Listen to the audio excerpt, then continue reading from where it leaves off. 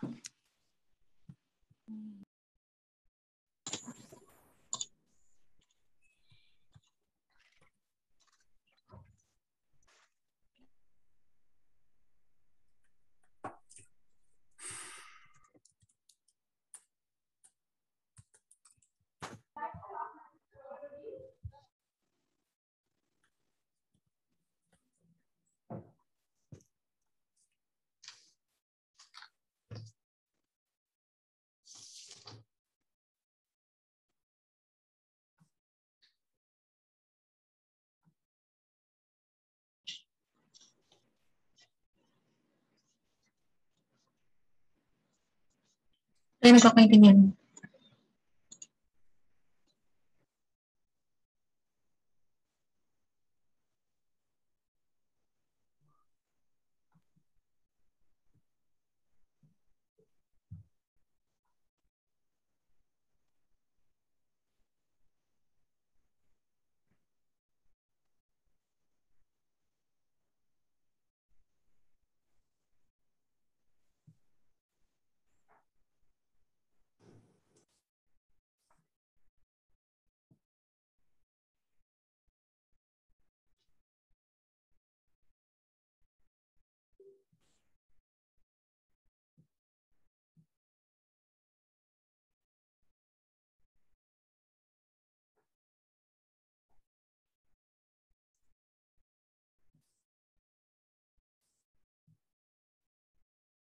Recording.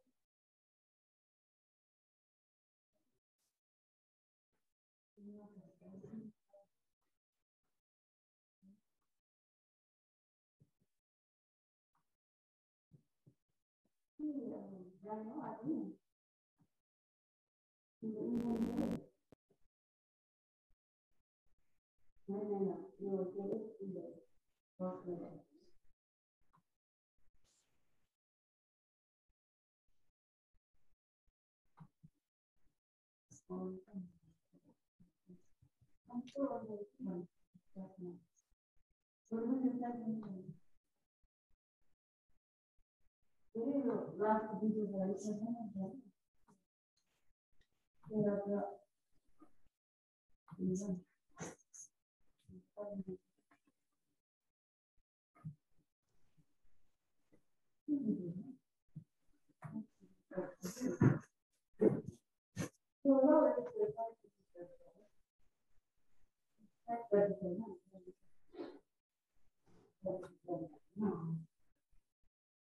Thank you.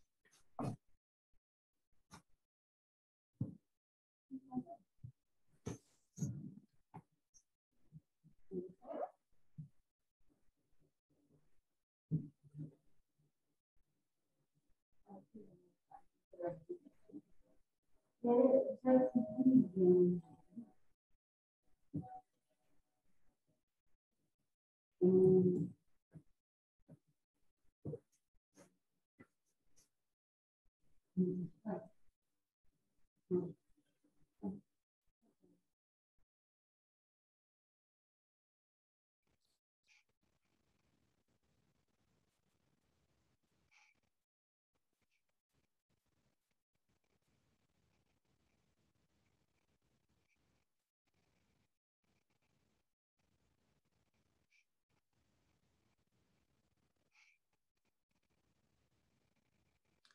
Good morning all. So uh,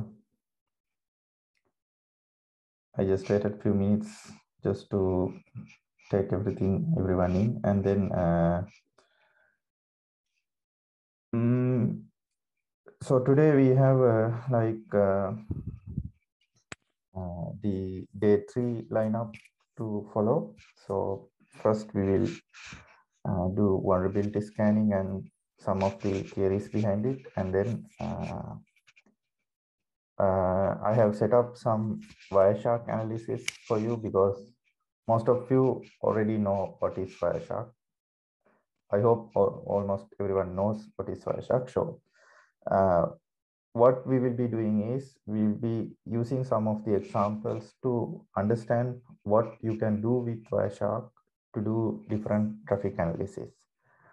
So it might be useful for when uh, there are some incidents that you need to uh, understand or when there are some incidents when uh, where you need to look for answers. So it might be useful at some point. And then uh, I will just go through some of the best practices in email server hardening, uh, especially from the DNS side.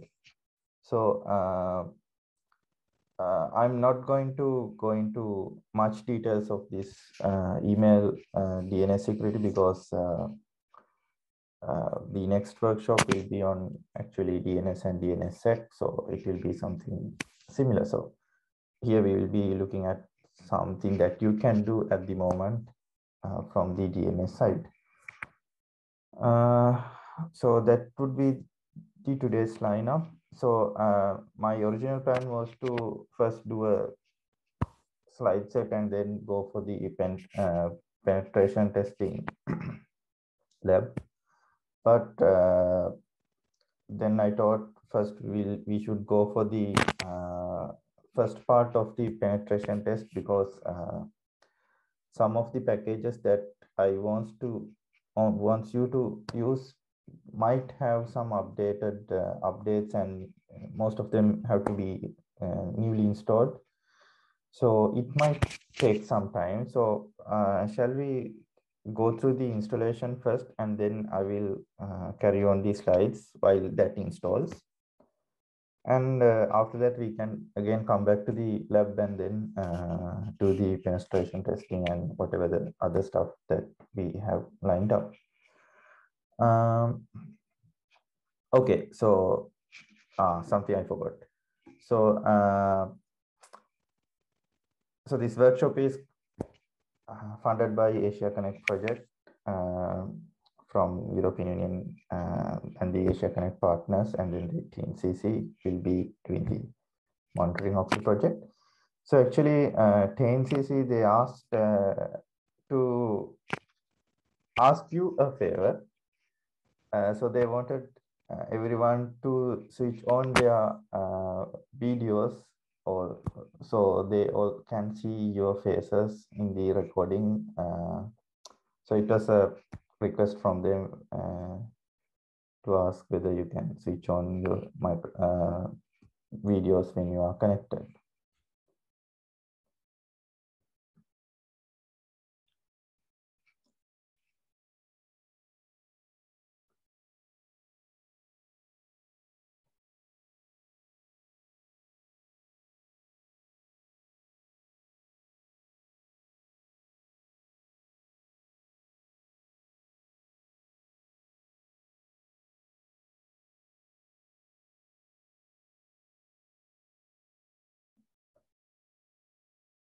Okay, and then I disable the waiting room so it will be easy for everyone.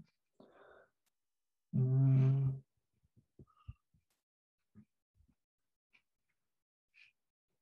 All right, so uh, shall we go to the, okay, I'll, I'll, share my screen. Mm.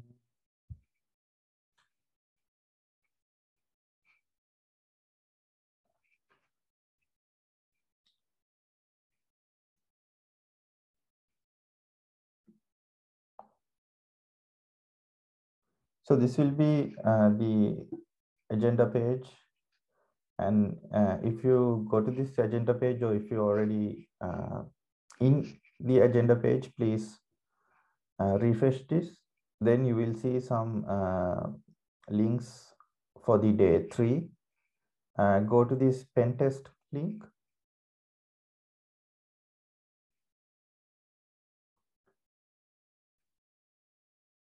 So for this pen test, uh, you are supposed to uh, use a Kali Linux. So uh, why we use Kali Linux for this is it's easy for uh, setting up some of the packages that we might be using and then um, uh, most of the dependencies will be there in Kali Linux uh, pre-installed. So what you have to do is either use the pre-existing uh, packages or to do a small installation on some of the packages that you need. So that's why most of the time Kali Linux is being used for different pen, uh, vulnerability and penetration testing. Uh, if you have not already downloaded that, please uh, use that given link uh, to download it. It might take some time because it's like 3.7 G or something. Uh, then uh, try to set up a VM uh, on whatever the hypervisor you are using. You will be needing, you will need the GUI. So please use at least 4 GB RAM. It's uh, better if you can go even more than that if you have the capacity. So uh, once you set up the uh, VM with the uh, Kali Linux. So the, the, image that I have given to you is a live image. So you can just uh, boot and work. Um, the default username password would be Kali Kali. So earlier, uh, sometimes back they used uh, the root user, but now it's uh, they are using a different user Kali. So it will be a non-root user. You can use Kali and the password Kali again. Uh, then uh, login, uh, login, once you log into the um, VM, uh, go to the terminal. So it will be a Ubuntu based. So actually Kali Linux, it will be a Debian based uh, uh, OS. So go to the terminal and then enter sudo apt-get update and it will update your package managers. Uh, once you update the packages, you can uh,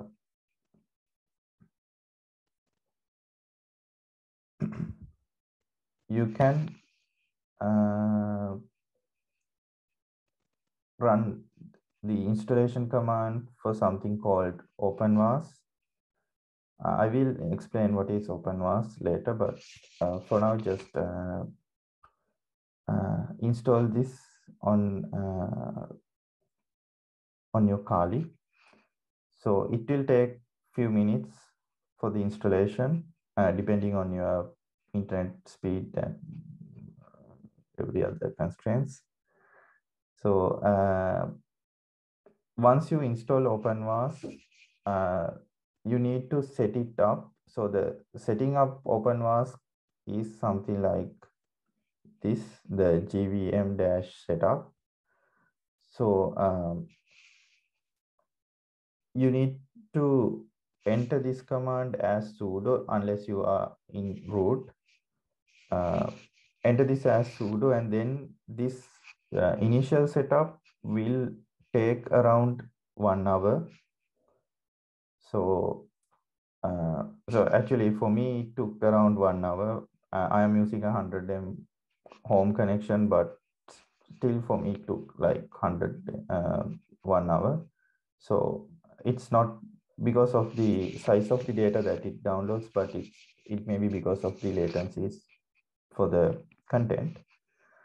So uh, it will uh, install, it will install some few other packages. It will update uh, repositories kind of stuff and then set up the uh, SQL databases inside and lot of things. And then uh, at the end, it will give you a long password for the admin user. So this OpenVAS, it have it has a, a web-based interface. Web-based interface.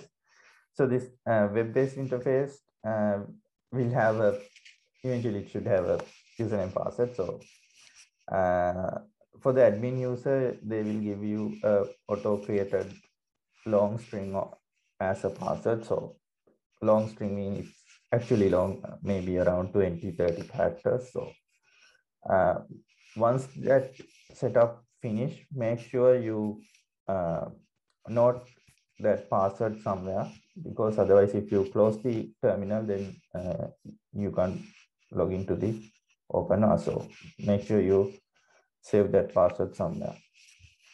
Uh, at least take a screenshot. Uh, okay, so after after the installation, we will uh, so up to installation, we will just do it now and uh, we will start the installation and then we will continue with the slides. And after I finish the slides, we can do the uh, rest of the lab. So actually this will take at least one hour for the whole setting up. And again, if you are on a net, uh, netted network, and if you are in multiple devices, again, it might slow your um,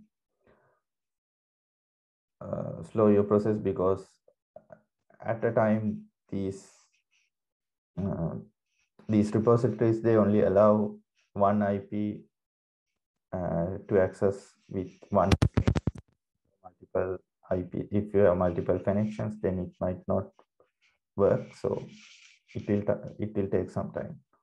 So please uh, go ahead with uh, the installation. And if you have any question, you can ask. Um,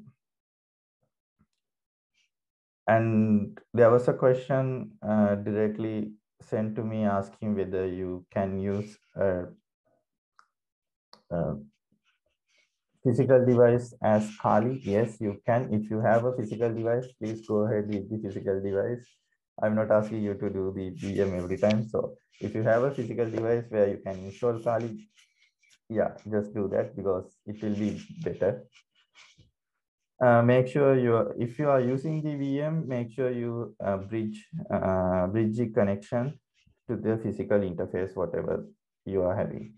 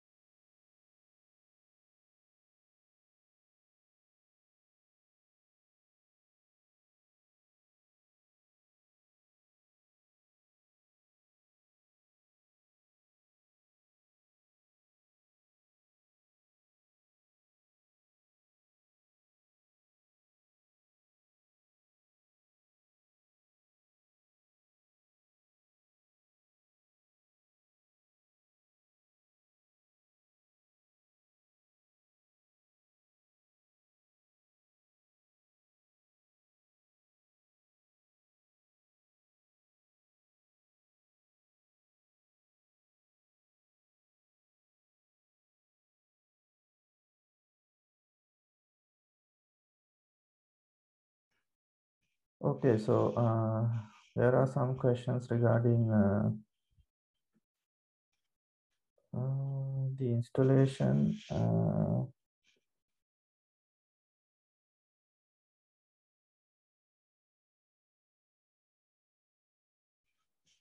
if you have any issues when updating, uh, installing OpenVAS, make sure you have updated the apt-get. So the first command should be apt-get update. And then uh, yesterday I tried install and it stopped in the middle.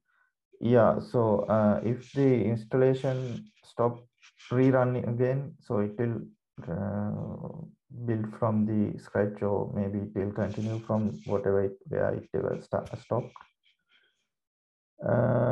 Uh, Niranjan is asking using Oracle VM. Okay. Uh, is it still not working?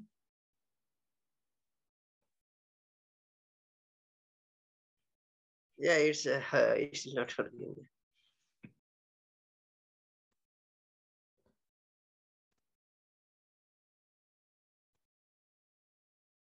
Hmm. Uh, just send me the AnyDesk. I'll check. So any, everyone else can see what we are doing.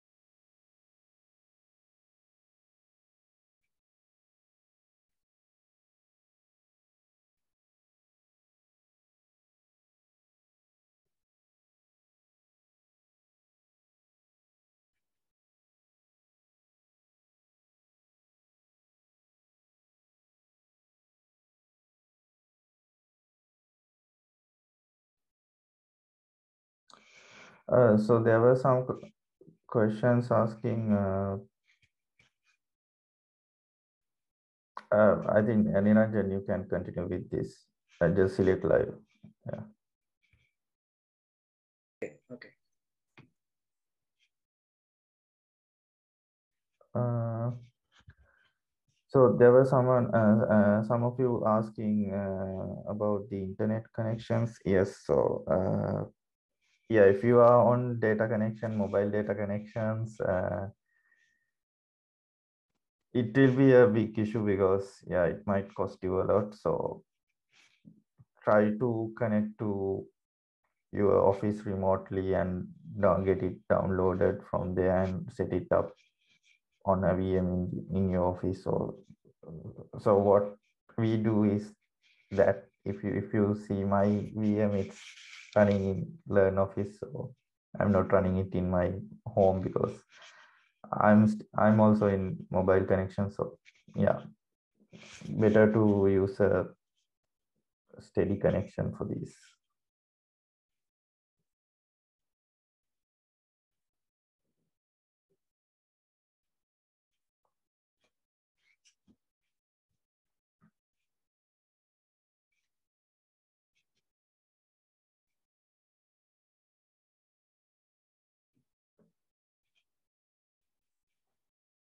By the way, we are providing 50 euros per day. So again, you can cover that from it as well.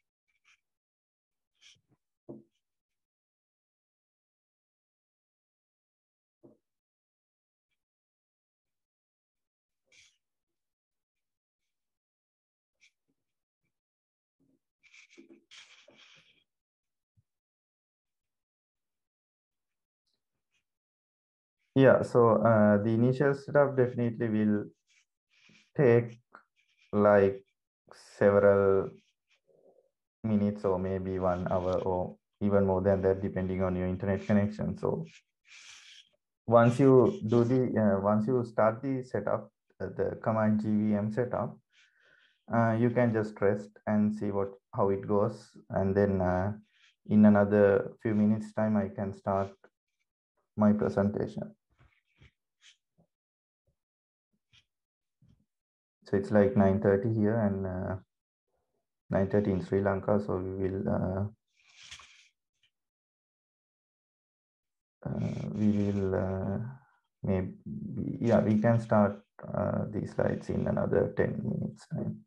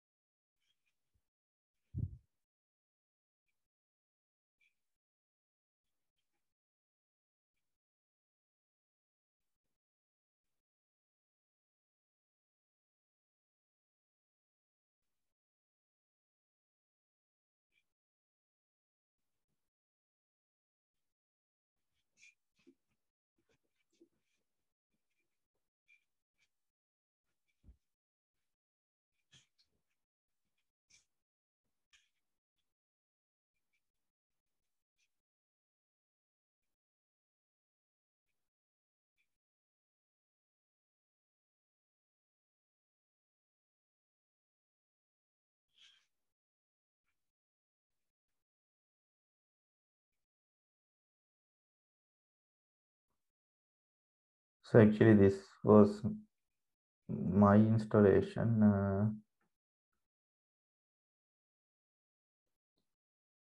it will be like a lot of stuff downloading. So this thing will uh, take a lot of time.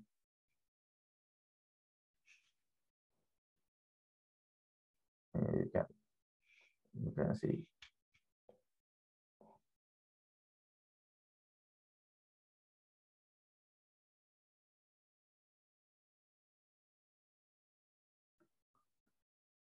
And then uh, for this installation, this is this would be my password. So definitely I can't remember, keep this thing remembered. So you need to copy it to somewhere.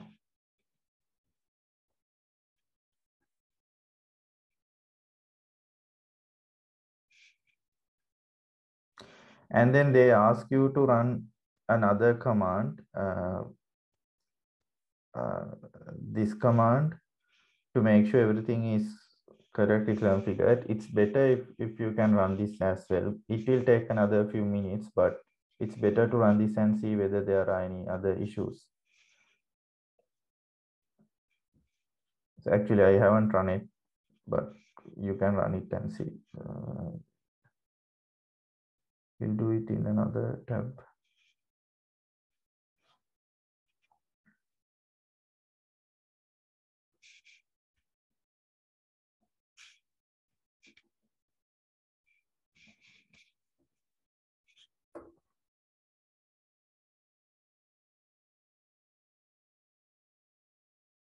Hmm. Yeah, there's some issue with me.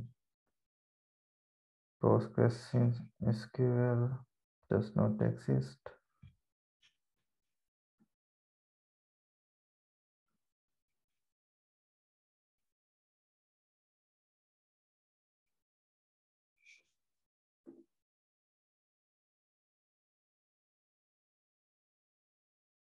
Mhm.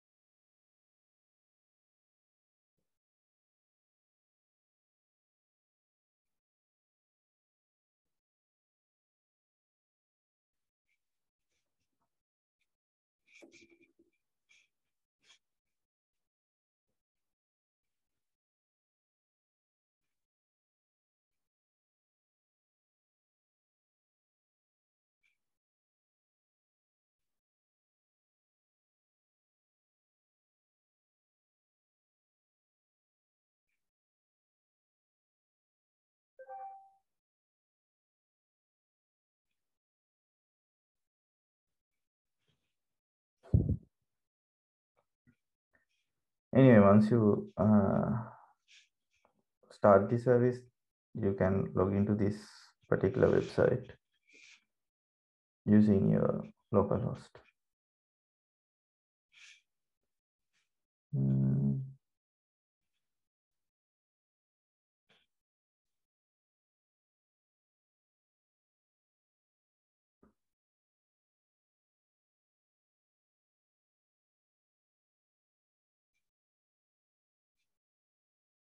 Yeah, so you can just enter your issues in uh, in the chat. Or if you want my direct help, you can uh, put AnyDesk.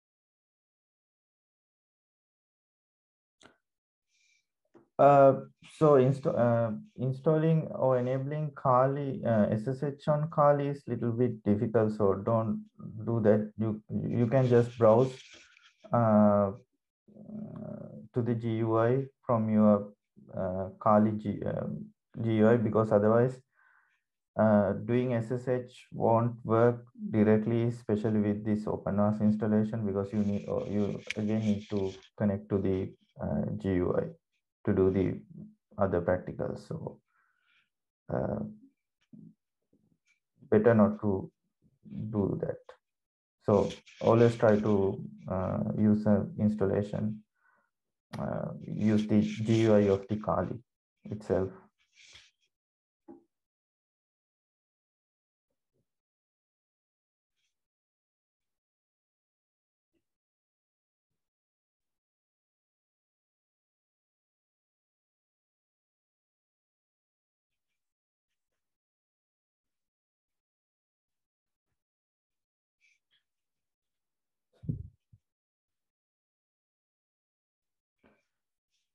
Uh, so I'm uh, running, we are running uh, Kali live version just for the testing. So if uh, in your production uh, cases, just install Kali somewhere and then do the installation uh, on the installed version because again,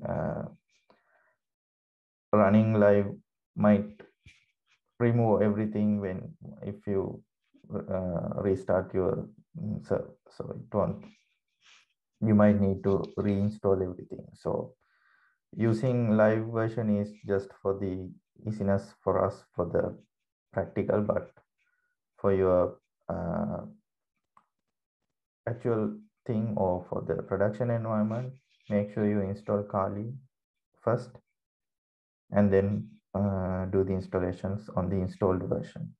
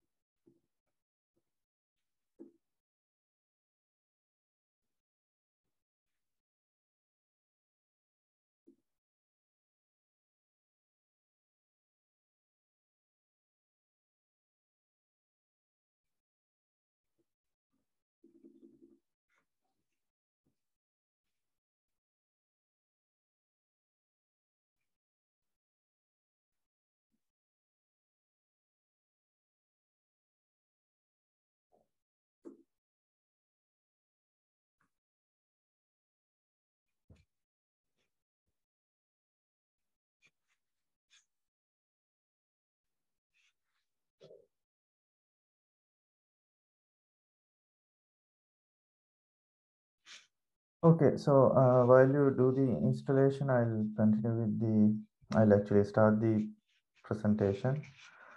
Uh,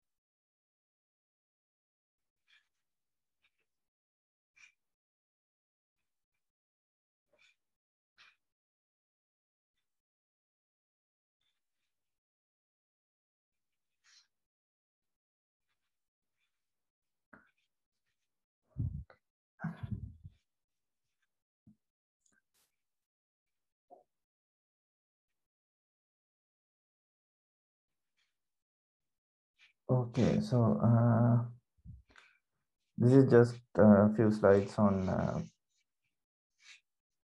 penetration testing and what is vulnerability testing likewise. But uh, so these slides contain a lot of content and uh, I might try to uh, skip some of them because of the time constraints, but you can uh, see or you can read the slides later on if you need these additional details. Hmm. So what is vulnerability testing?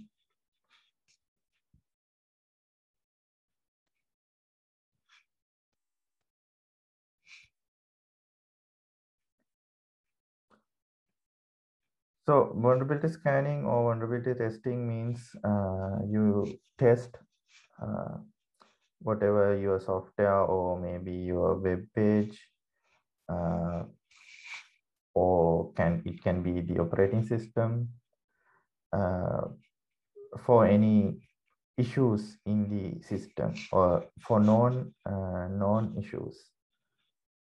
Uh, so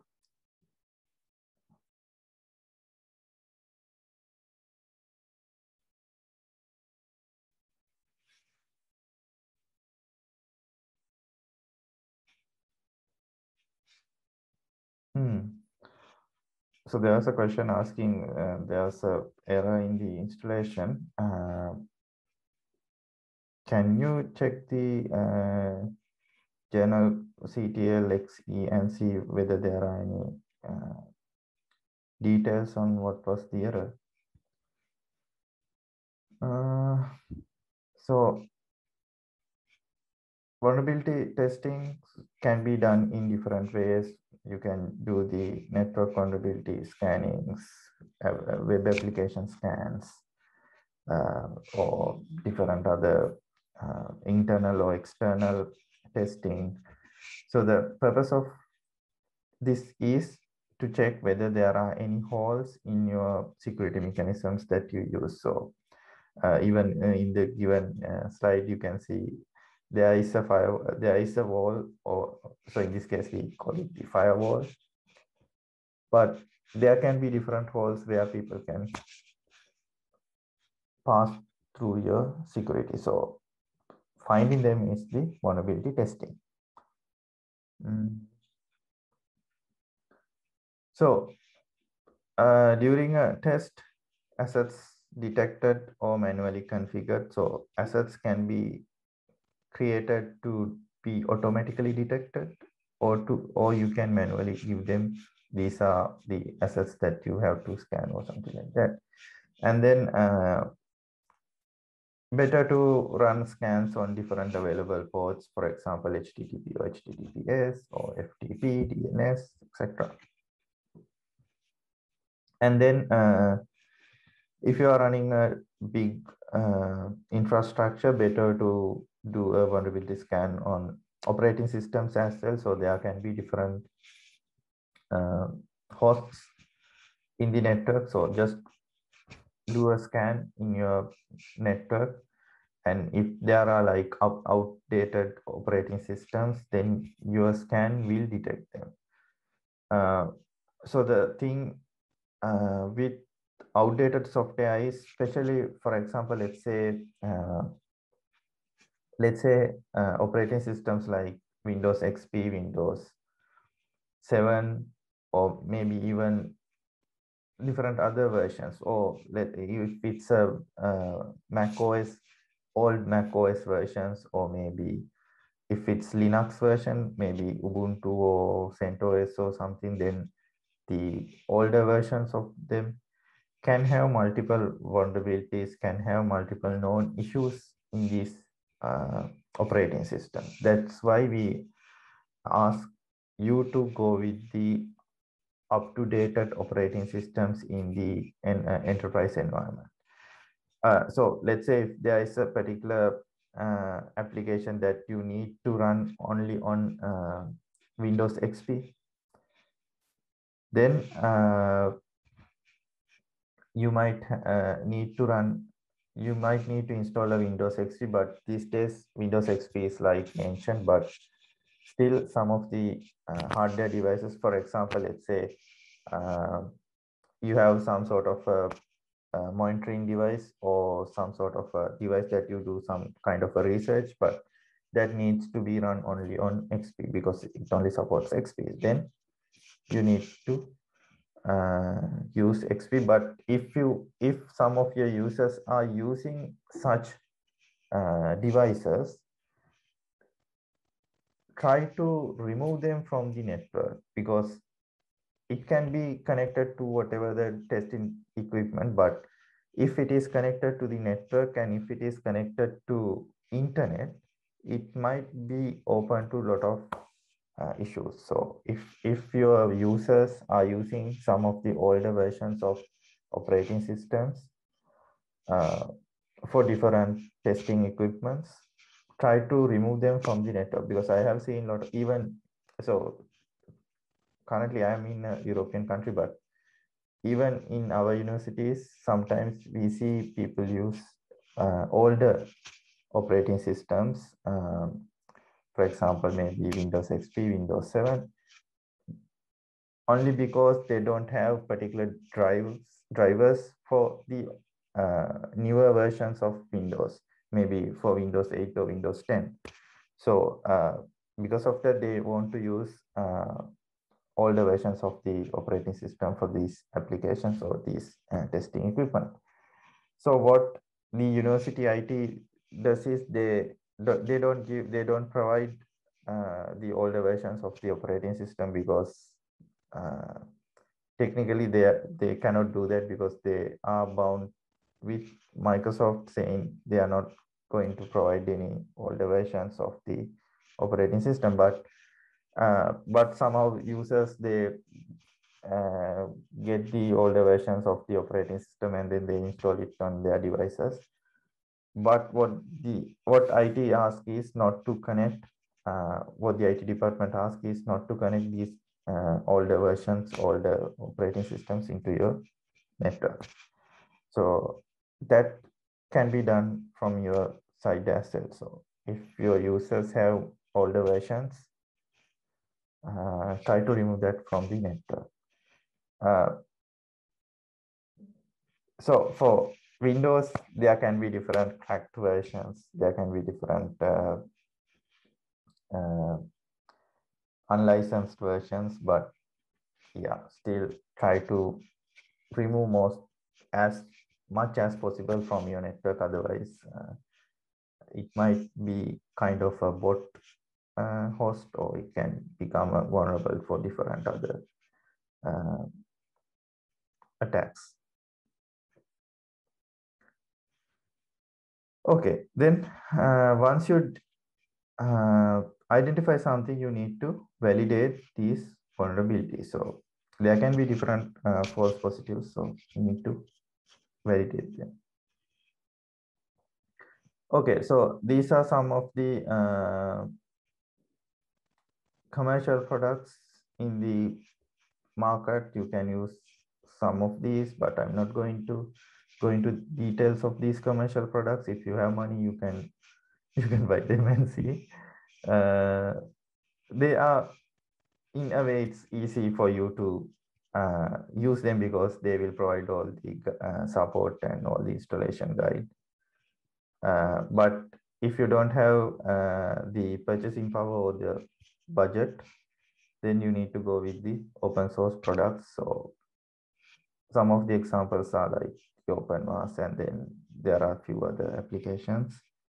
Uh, most of them even are also in Kali Linux. So uh, the issue with these open source product is there might not be a proper support for you because even some of these applications they have their own commercial product line so they will be uh, focusing on their commercial product line so they might not give you the community support but from the community you will get support. So uh, nevertheless you can find some support from others in the community. So that's why we use open source but it's yeah it's very difficult uh, difficult to do the installation of these things if you are not that much uh, familiar with open source products so uh, that was the vulnerability testing and what is a penetration testing. So these two are two things. Vulnerability testing is finding a loophole or whether there are any open uh, ways to get into your system. Penetration testing is uh, finding the weaknesses in your security. So there can be a firewall but you can see whether you can penetrate through that. Whether you can just uh, break the security and pass through that. So that is the penetration testing. So penetration testing needs to be done if you want to harden your security. So most of the time uh, for example let's say uh, uh, let's say you use two-way authentication or multi-factor authentication for SSH. So that is a way of uh, hardening your system. So why you use multi-factor authentication is if you use only a single authentication method, maybe a password, uh, someone can try to log into your system, maybe using uh, a brute force or something similar. So that is the way how you find it is by doing a penetration testing. So uh, the steps are like this. You start a potential. Uh, you start with a list of known vulnerabilities, possible open ports, open uh, old software, weak passwords. Uh, yeah, I have a spelling mistake here. And then uh, uh, once you find these vulnerabilities, then you list them uh, based on the criticality. And then you can do a device test on uh, other possible vulnerabilities like port scans, password crackers, software versions. Then uh, run possible uh, vulnerability tests again. And then if you find any issue, then you fix them. So that is what you need to do when even with the vulnerability testing as well as penetration testing. So some of the tools are like these. So there are a lot of Kali Linux tools. There are a lot of online sites. You can do penetration testing. Mm. Uh, we are not going to go into all, all of these things because of the time, but you can um, Google them. There will be a lot of tutorials. There will be a lot of uh, ways of uh, how you install this. So you can check them and see uh, how they can be associated into your system. okay, so when you are doing a network penetration testing, uh, there will be sev several uh, categories of doing these kind of testing. So uh, one one is called the black penetration testing, uh, but uh, black penetration testing doesn't mean it's kind of a black hat hacking. It's just you do the penetration testing without knowing anything on your system. So uh, in this case, you don't have any prior knowledge on your system. Then you can identify any gap encountered. Uh, so it can typically cover one, uh, one, two, three gaps or few gaps, but it, it can't go into full deep depth because uh, it's just you are new to the system and you are doing a blind testing.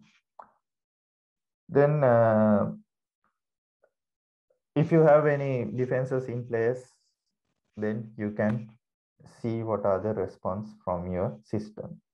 So it's like someone outside in your network doing a uh, scanning on your system. So the goal identify if an attack could be successful from the outside. So uh, there will be different pros and cons. So like simulate an attack, actual threat from the external user can be a pros, but the uh, other side does not cover all potential vulnerabilities and potential disrupts. So doing a doing just a uh, black penetration test might not be enough for you. So it's just checking whether outsiders can log into your system in a simple ways. Then uh, the gray penetration testing. So gray penetration means you have some level of knowledge on the network. So it's like the user level knowledge of the network. Uh, you can run different vulnerability scanning from the internal side as well as the external side. Uh, you can do different phishing campaigns to see whether your users are uh, aware of these kind of types. Again, you can test the defenses. Uh, you can check your incident response plan as well. So now what we are going to do is we are identifying whether there can be an successful attack from outside. So in, in this case again, uh, uh, since I talked about the phishing, uh, what you can do is you can uh, you can formulate a phishing email, phishing sort of an email, and then you can send it to your users, hiding your identity. Don't send it from your name because then the users know who you are, but try to send it from a different email address or some other or maybe using some hiding technique, then you can see whether there are any responses into this phishing uh, email. If there are any responses, I mean the bad sort of responses. So let's say you ask someone's username and password and then someone gives you the username and password. Then that means you need to educate those users saying not to do that again. And again, if you get any uh, complaints from a particular user saying they received such request from someone unknown, then you know these users are aware of what they are doing. So by that way, you can uh, test your users uh, and see how they are dealing with phishing attacks as well. Uh, later on, you can, after, after testing these things, you can later on put a group mail to everyone saying, we did something this like this sometimes back and these were the responses and these these are the good things and these are the bad things of our users or something like some summary. So based on that you your users will also educate uh, on what they need to do and what they don't need to do. So uh, think some think about some kind of plan for these sort of um, ways interacting with your users.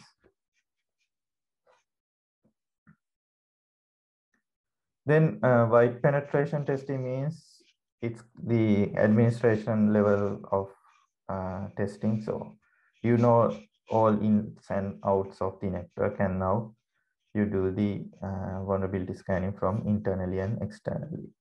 So this should give you all the uh, weaknesses, at least most of the weaknesses, not 100%, but at least most of the weaknesses in your network. So now the goal of a white test penetration is identifying vulnerabilities in the network. But white test uh, white pen penetration testing will be somewhat hard and it will take a lot of time.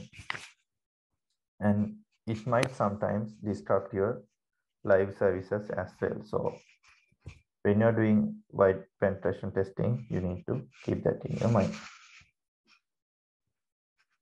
Okay, so uh, if you want to do a penetration test on website, what you can do. So if it's a black penetration testing on a website,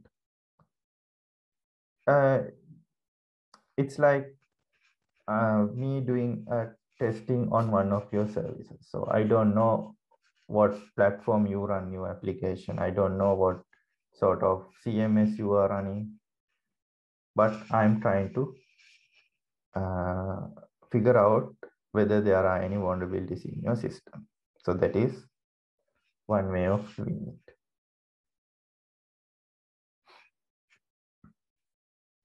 Then the same thing, uh, gray penetration testing uh, you you, uh, you can see whether there are user level accounts, whether there are self-registering accounts. Uh, and once you log into your system, you can see whether there can be any ability to evaluate, uh, elevate the privileges of your uh, user roles. That means, let's say, there are some pages that some particular users can see, and then there are some pages some particular users can't see. You can log into few user types, user accounts, and see whether you can go uh, travel through those different websites, whether they work properly or something like that. So that you can do the testing, and then you can see whether you can check whether there are any if there are any defenses like IDS or IPS, whether they work properly, these things. And again, if you have any incidents response plan, whether it will work. Uh, so that is from the gray perspective of the testing. And then the white penetration, you can just review the uh, code. You can do code uh, automate automate. There are different tools that can check the uh, or review the code. So you can use them. You can uh, patch or you can find any issues in the system. You can patch them. You can uh, patch the code if there are any issues. So now you are looking at the administrator level of the system, so you can do whatever the um, changes you need.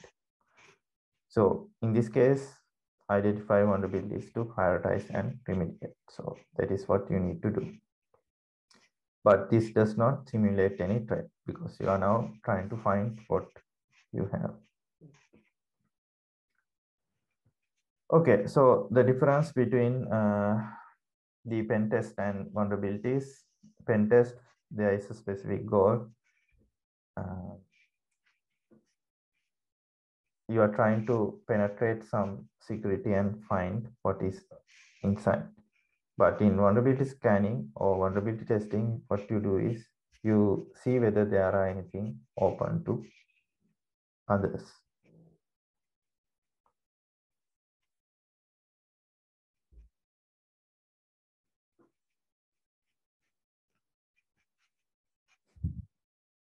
Okay, so next, the main thing uh, of uh,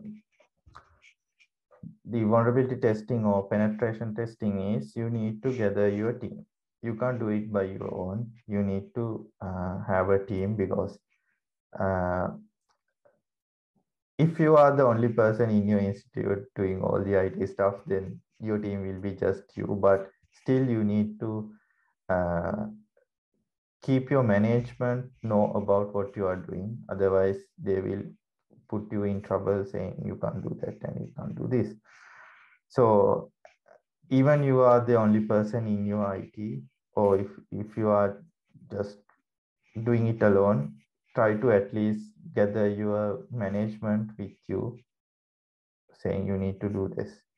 If you are a person who are in a team where there are different programmers, where, where there are different network people, where there are different software people, try to gather, gather them all before doing a such test because everyone should know what you are doing. Otherwise, someone can say, uh, I was doing something while you do the testing, and then because of that, they couldn't do that, whatever they were planning to do. So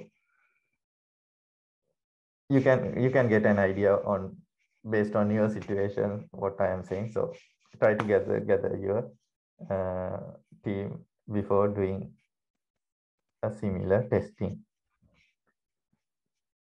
And then uh, you need to get the permission, make sure you get it in written because uh, once you do a penetration testing, uh, sometimes it might uh, interrupt your services. So if it happens, then if your website is a heavily used website or if your software is a heavily used software and because of the penetration testing, if that went down, then it will be a problem for you. So make sure you get it authorized by uh, in written and then uh, your top people, your top management, they know what you are doing. and uh, there are some examples on kind of authorization forms. So one, one is given. Again, there are different other examples in the internet. You can use one of them if you want, or otherwise you can simply write write an email or write a letter to your management saying these things will be done on that particular day. Please give the uh, go or the permission to carry on the testing. Okay, so what happen if you don't get that? It will it can become an insider threat. So if you don't get the permission, someone can accuse you saying you are an insider attacker. So make sure to get the permission before doing that. So it depends on the environment. It depends on the uh, it depends on your management. So nevertheless, it's better if you can get the permission as required. Then uh, you can have a scope, you can have a particular goal before doing the test, what you need to do and what you should do and what you are going to test.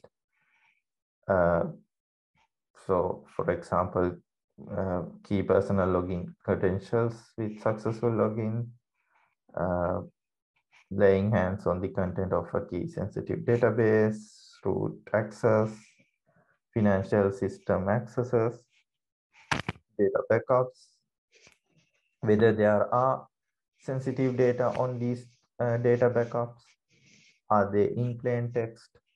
If, if there are sensitive data, then you can suggest they should be uh, encrypted or something similar. So these things can be uh, decided before doing the testing.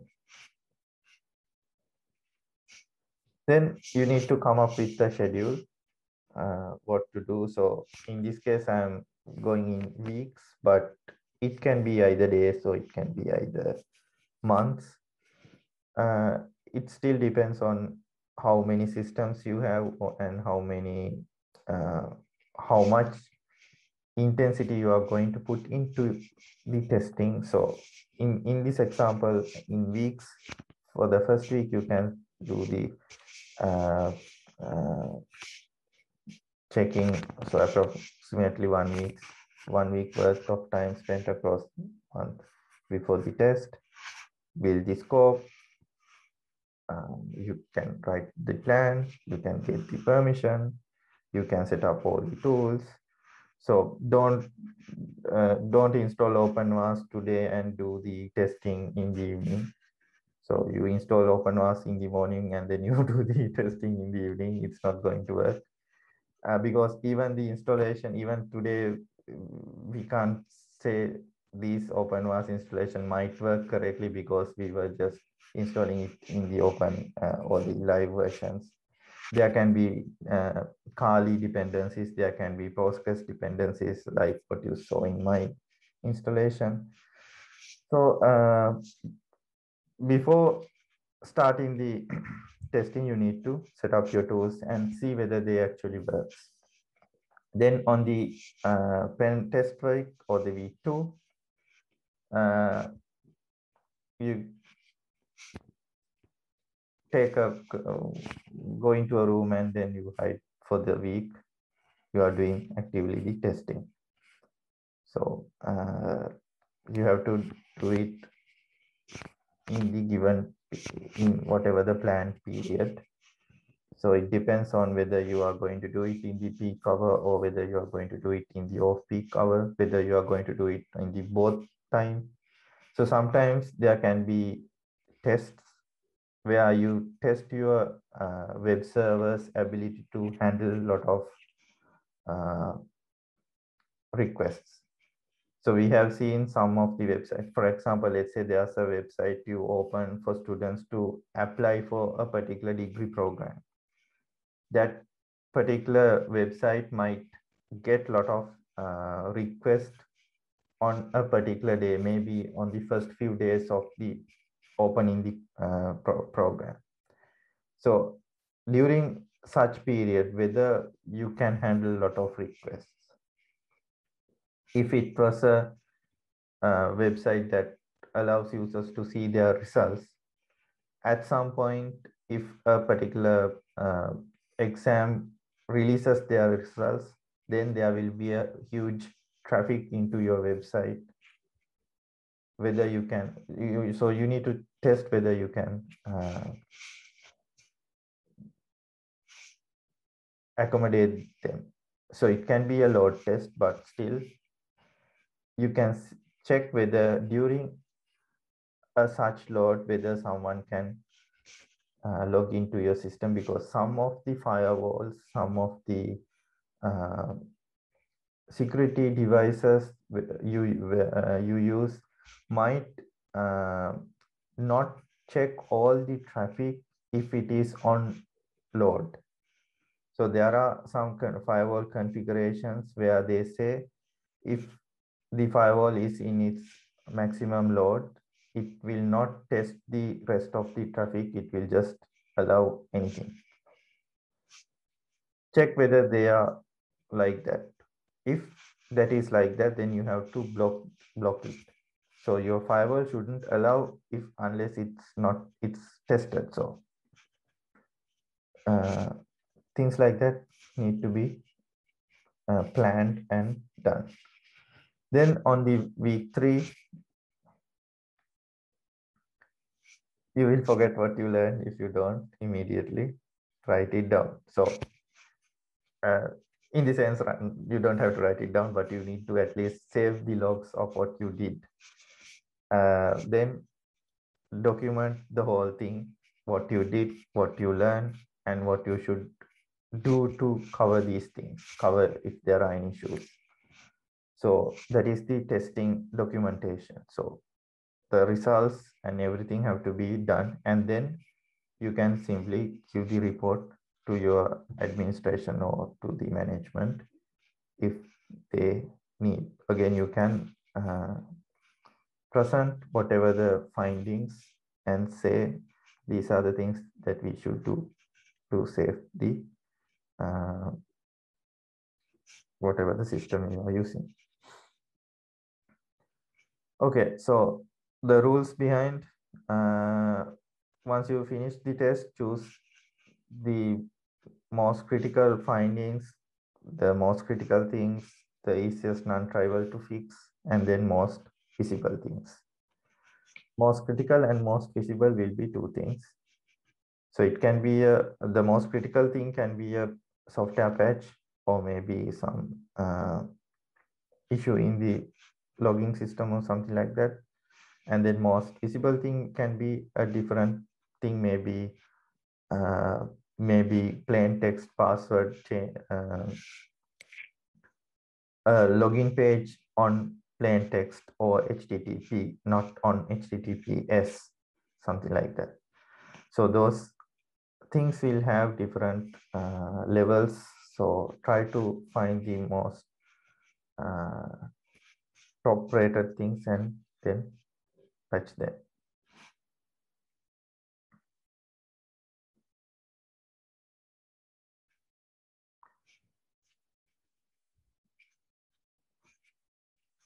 Okay, so Kali, again, uh, I'm not going to go into details of the Kali. So Kali can be used for different purposes. Uh, you can read this. Then there are different tools. I am listing few of the tools and uh, you can see different tools and some examples like ping. You can do different types of pinging from Kali uh, trace routes. Nmap is a useful software to see what are the open ports and then uh, uh, different things like uh, remote login, who am I, TCP dump. Uh, we will talk about TCP dump in the next session as well. Yeah, there are different other applications as well. So there are a lot of slides containing the descriptions. You can just go through the slides later on. Uh, okay, so then there's a Zenmap. Uh, you can run Zenmap on your uh, uh, Kali. And then uh, Shodan. Uh, Shodan is a website.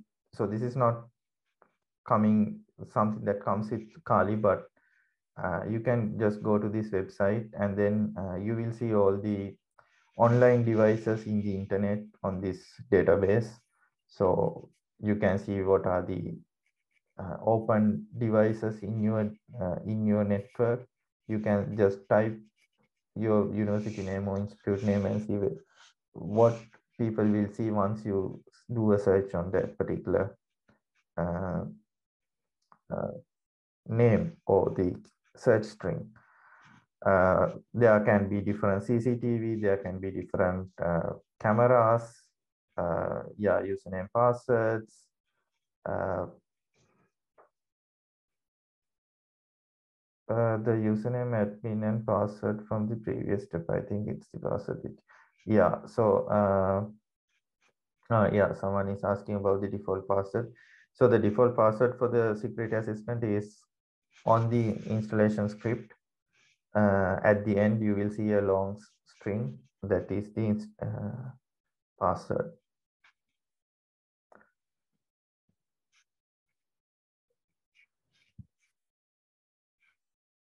Okay, so I just quickly went through a lot of stuff. Uh, and again, you can do few vulnerability testing with Firefox as well. So there are different apps you can use. Uh, simply, uh, you can try these uh, applications as well. So uh, I will uh, drop out for the lunch. So we can uh, go for lunch and then come back in 30 minutes and then we will quickly go with the um, rest of the pen penetration testing tutorial. I will just quickly explain that what to do. Uh, there's nothing much uh, and it's very easy. So it's just uh, following these steps. Uh, then uh, after that, we will do some Wireshark and uh, let's see what we can do on emails as well. Okay. Okay, so see you in half an hour.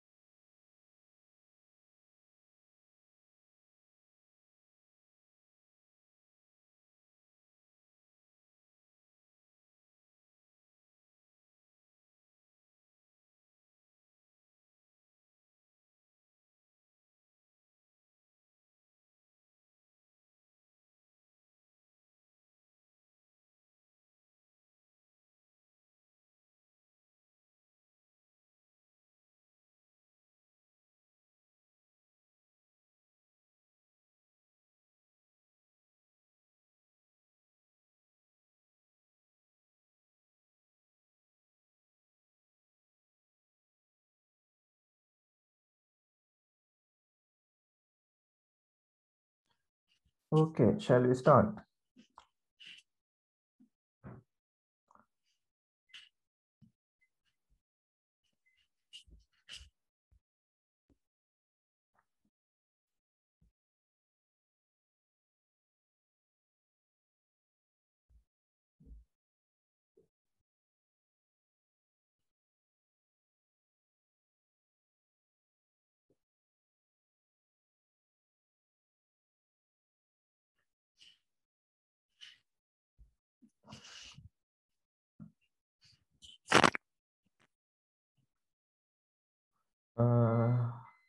Okay, so uh, again, just a reminder for everyone. Uh, so TEIN*CC, they wanted us to keep your video screen switched on. So yeah.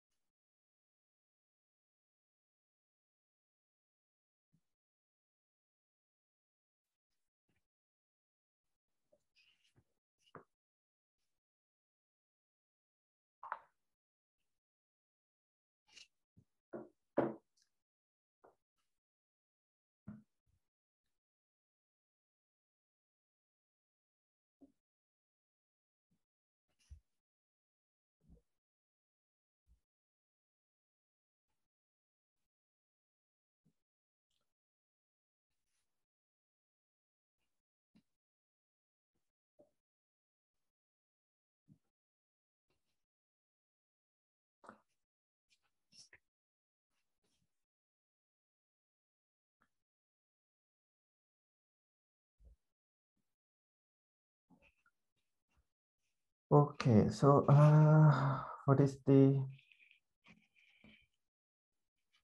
Mm, are there any updates on your installation?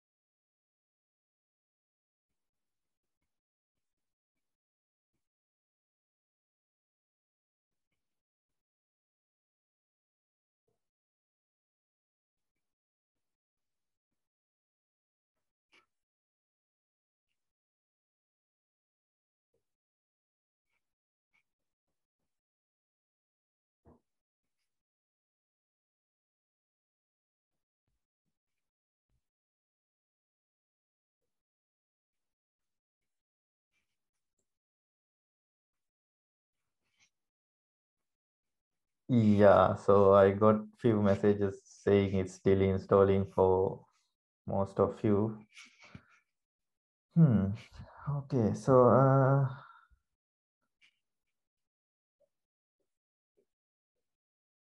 uh okay, so I'll I'll just explain again uh, these steps. So if there is anyone who didn't logged in in the morning, so they can just follow up. Hmm. Okay. Um,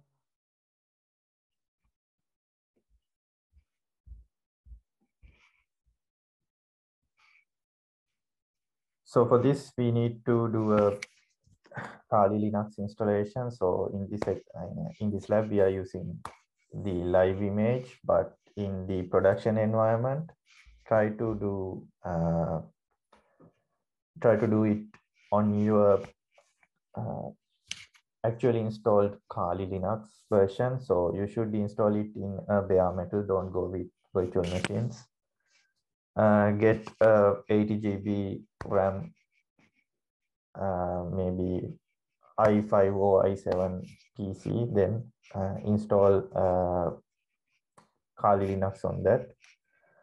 After that, you can do whatever the stuff you want to do with Kali, and then uh, you can decide where you put your uh, put your device. So in the sense where you put it in your whether you put it in your internal network or whether you put it in your external network. So uh, in my case, I'm using it as an external device. Uh, so my Kali uh, installation or this live version is running on a public IP. Uh, so you can keep it inside the net or again you can keep it outside. If you are running, let's say if you are, if you want to do the black uh, black penetration testing kind of a thing, then you need you need to keep it on the outside network so that that is like you put it with a public IP and then try to log in. Uh, if you are doing the administrative or the white uh, type of penetration, then you can do the uh, internal network connection with the internal networks. So it depends on how you do the uh, uh, do the uh, testing. So actually, I got a message from uh, someone saying her virtual box got crashed. Yeah, so we will be using a lot of RAM, so it might have some tendency to crash. Uh, and since we don't do the installation of Kali Linux, since we are using the live version, if your uh, Kali uh, got crashed, then you have to do it from the beginning. So it will take a little time. Okay, so this is just for the testing purposes, for the lab purposes. So that's why I asked you not to do the live installation for the uh, uh, actual thing or for the uh, production thing.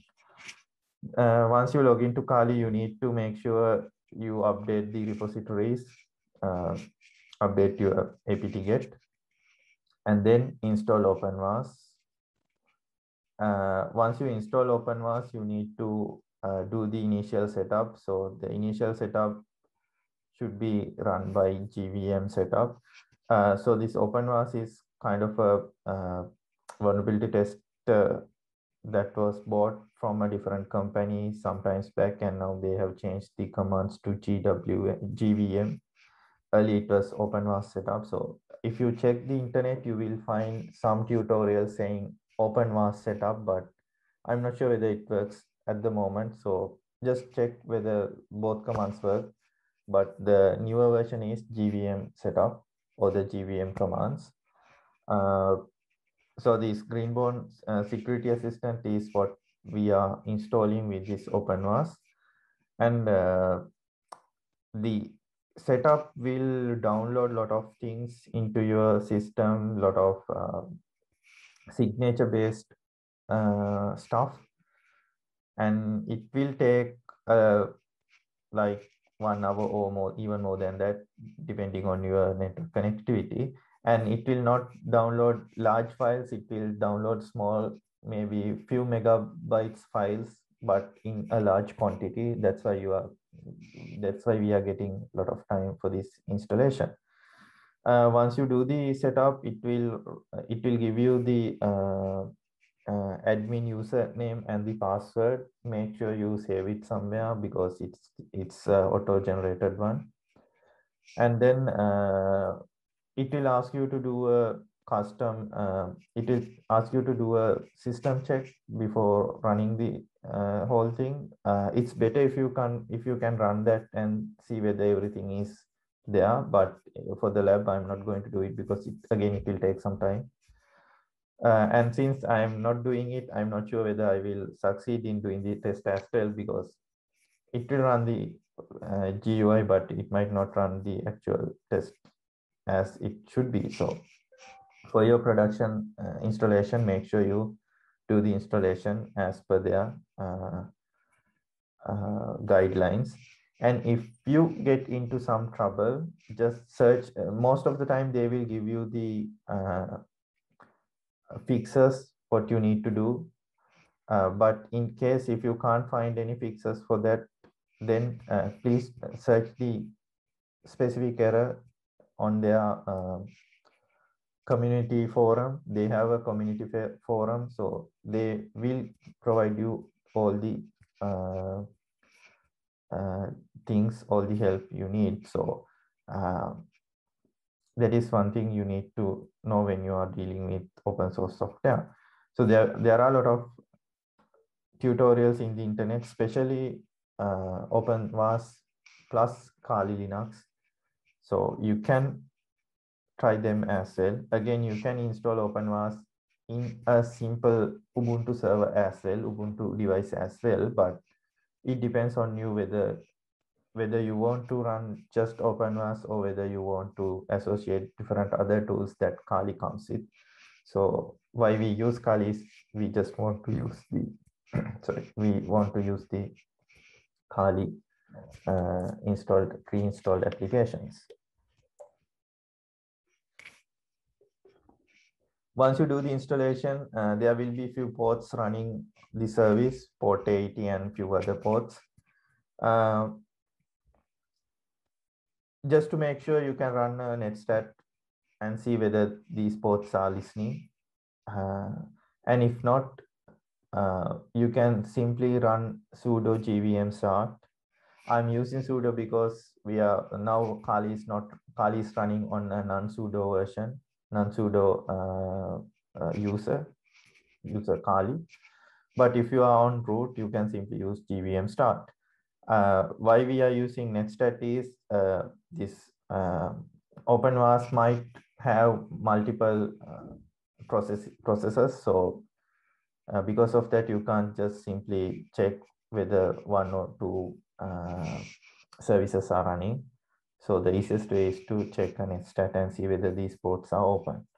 If these ports are open, then that means you can simply uh, uh, use the service. And then uh, you can go to the website uh, your local host 9392 which is on https so when you log into your uh, this thing from okay so for this you need to use the kali inbuilt uh, browser. Don't use your host machine or any other device because this won't be open to the uh, external connectivity. It will be just uh, localhost connection. Uh, go to that and then uh, log in. Once you log in, uh, you will see some uh, similar image like this. I, I'll show you my installation since most of you are not running your own installation. Mm.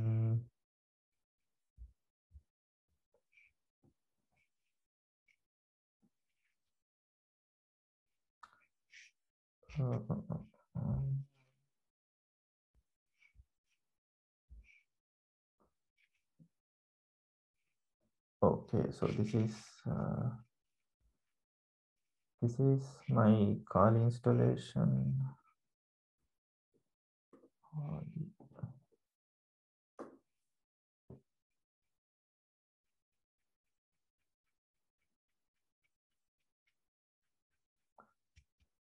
And again, I'm remotely connecting to this desktop because the actual VM is hosted somewhere uh, inland and I'm uh, thousand kilometers away from that uh, VM.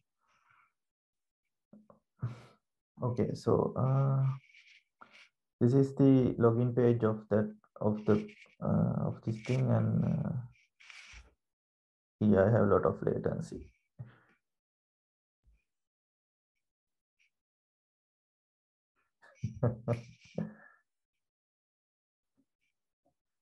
Username is admin and the password I copied.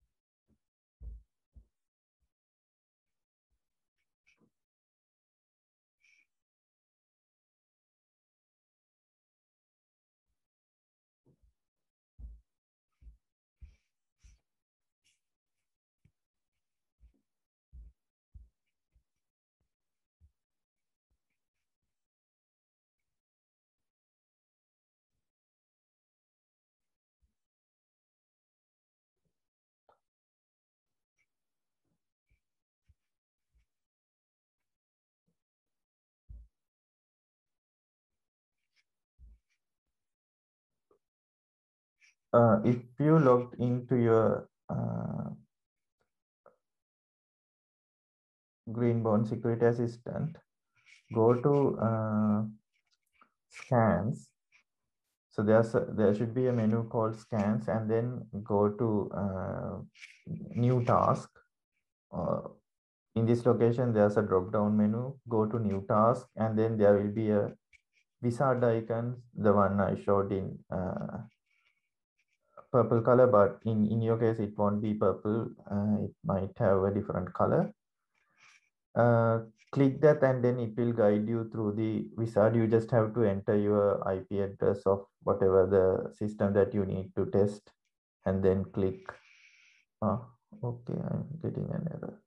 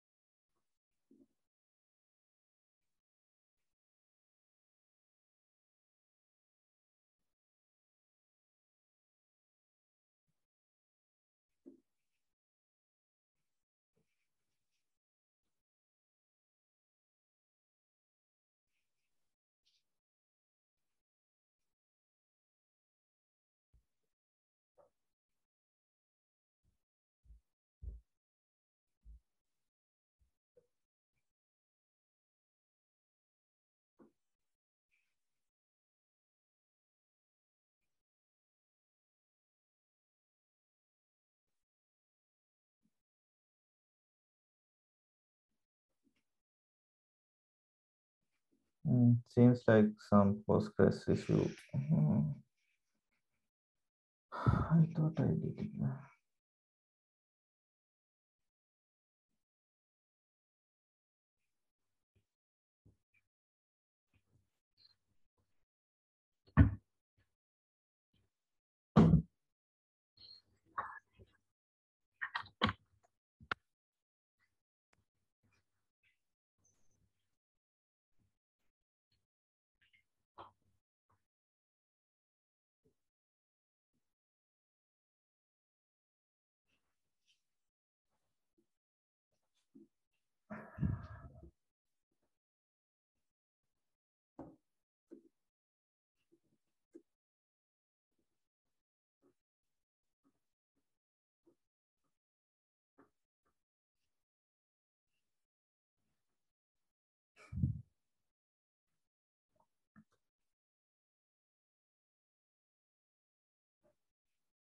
Hmm.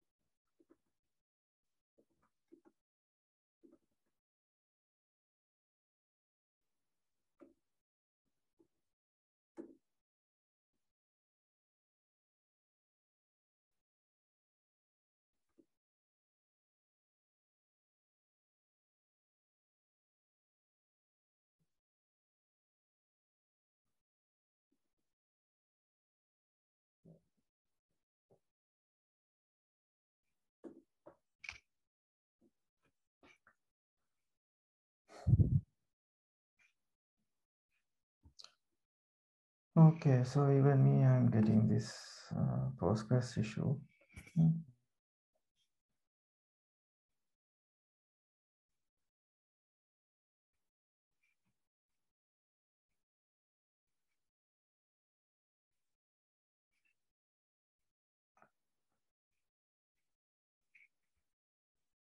Okay, so uh, since it's not working as expected, uh, I just first show you the other example. Mm, so the other thing uh, was this uh, uh, DDoS pen test. Uh, so some kind of interesting thing. So there's a there's a software called HPing3. Uh, you can use this HPing3 to do the uh, installation of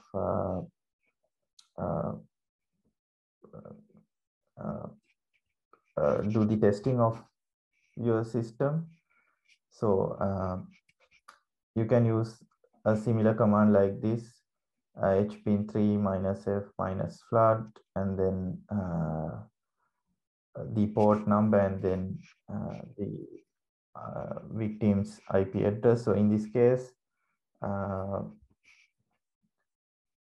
don't use the nearby IP of uh, IP address of your network just for the testing if you are in a big network at the moment. If you use if you do that in your uh, network, sometimes your whole network might get flooded. So uh, try to if you are in on the VM, try to uh, test the internal uh, IP of the VM network then uh, uh, in the similar way, you can do different uh, type of floods, the UDP flood, SYNFIN floods, mm, different other flags.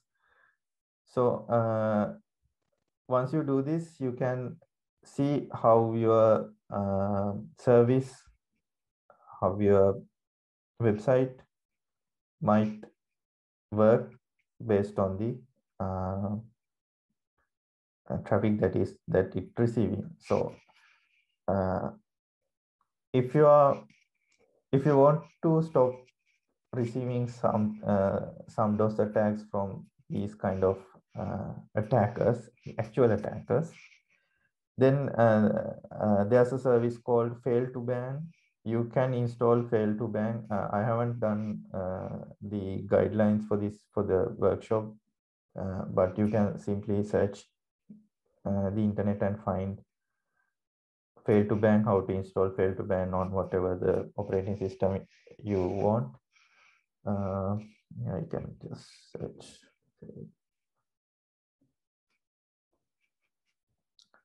So fail2ban is uh, the way it is one of the easiest way to uh, block uh, something that comes as a DDoS or a DOS attack. So uh, there are fail2ban inbuilt in some of the applications for things like uh, pfSense, they already have that. But if you want to install it from the scratch on your system, maybe on Apache server, you can do it uh, from uh, the guidelines. Here you can have a some example.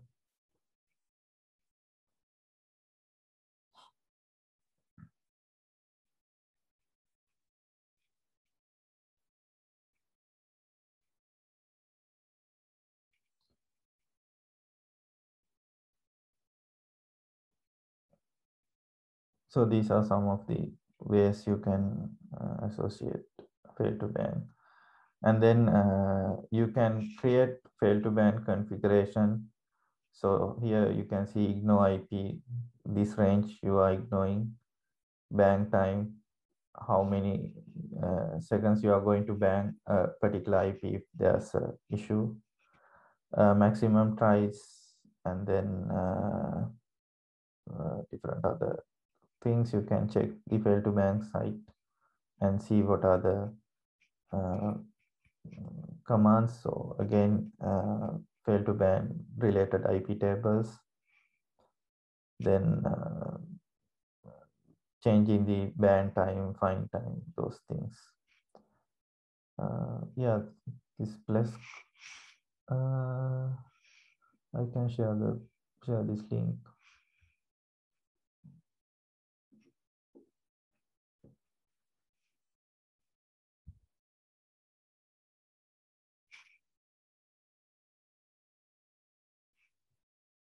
Okay, so uh, uh, 12, can you uh, share your screen so others can see whether you can log into the system? And you can you can enter my testing machines IP and do a scan.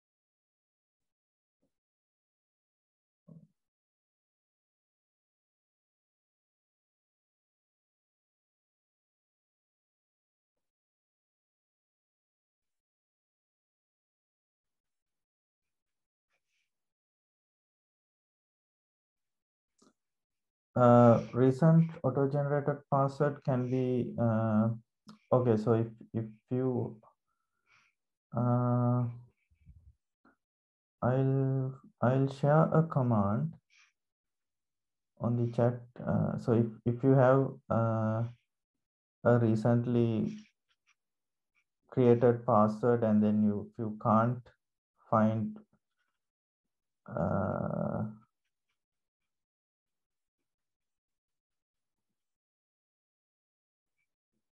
if you can't if you can't find the password then try to include these two commands and then it should give you the uh,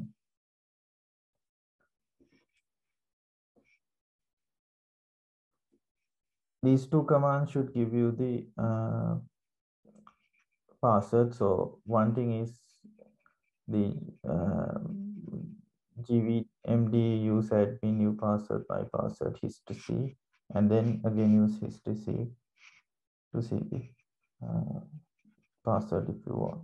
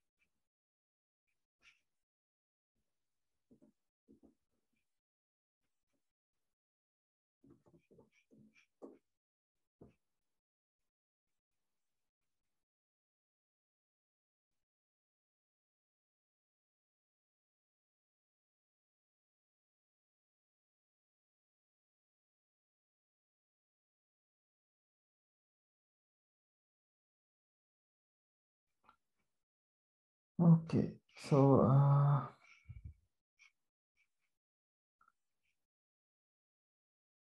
yeah, I don't want to waste time on uh, figuring out what has happened with my installation. Uh, bottom line, install Kali and then uh, install uh, OpenVAS. It will be easy. Uh, it can be some. Uh, there will be a lot of dependencies even with the live version. So try to install Kali and then uh, do the uh, do the OpenVAS installation. Or you, again, you can use the uh, pre-installed Kali VM from the Kali website. They have some VMs, uh, but yeah, it depends on your configuration. You can download the uh, bare metal version and then install it in your in your PC or in a server. Mm, okay, so since we are uh, running out of time, I'll uh, I'll quickly go to the other. mm,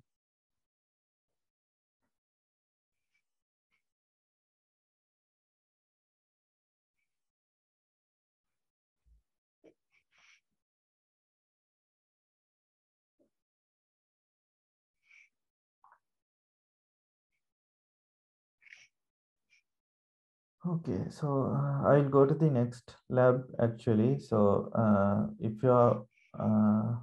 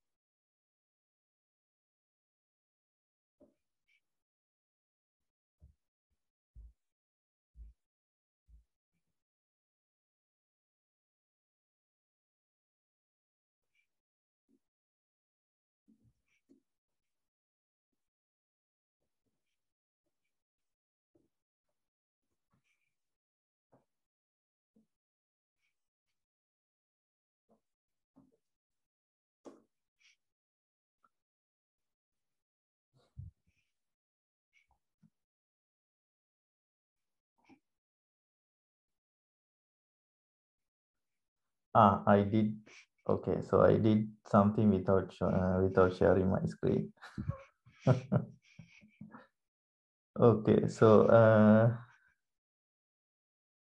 so I just enter uh, entered the hping command for a particular IP address, and then uh, you can see there was an error when I just copy paste because it is asking for the uh, privilege mode. So I just have to in- include sudo since I'm not in the root account. And then uh, in here, you can see now this uh, attack is happening or the hping is happening. And if you have a network monitoring tool, you can see the traffic that comes into this port. So if if if this particular device is in a different port which can be monitored separately, then you will see a lot of traffic on this port as well. So uh, I'm just going to kill it. Uh, and I might try to log into that server and see whether I can show you something. Hmm.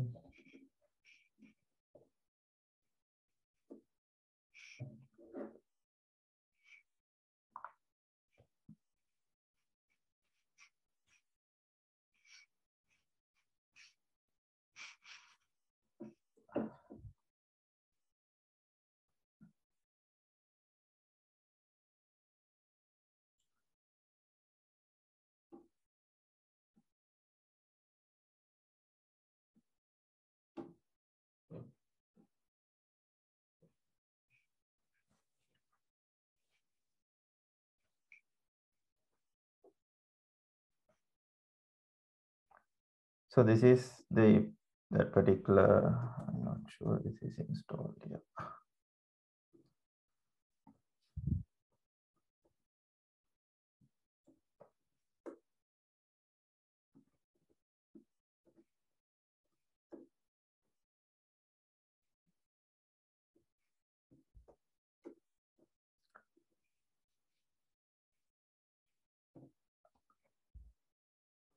So this is the traffic and then uh, if I start this thing again.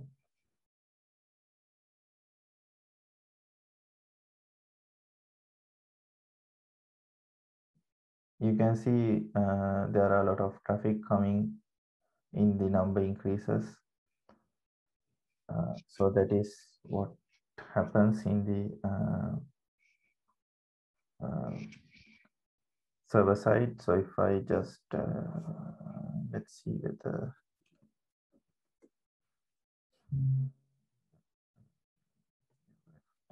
status. Yeah, so UFW is open at the moment. If I disable this UFW stop uh, disable.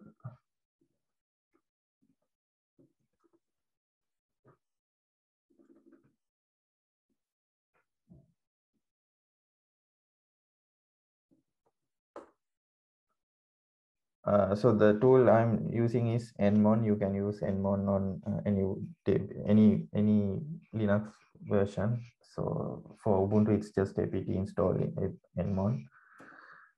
Uh, so now you can see the traffic coming for the server after stopping the uh, firewall. And uh, if I do a UDP flood,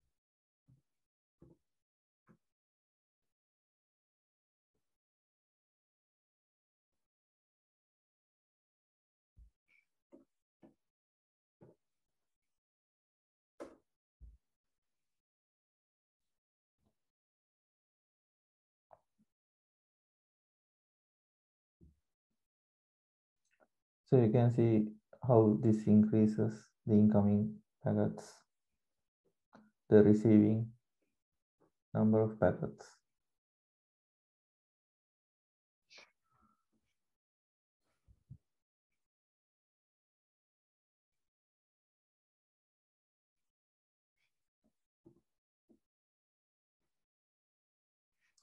Okay, so that is kind of an example for uh, Nmon. So now, okay, so now you can see there's no much traffic. So it's like eight, less than 10. But when we were using this, it's like several thousands. So in this case, it's almost four, four, 4,000 kilobytes per second. Okay, so uh, that is something you can try. Mm,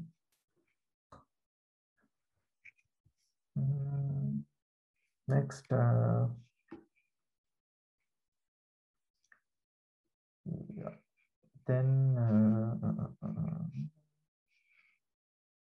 let's see whether this thing works again.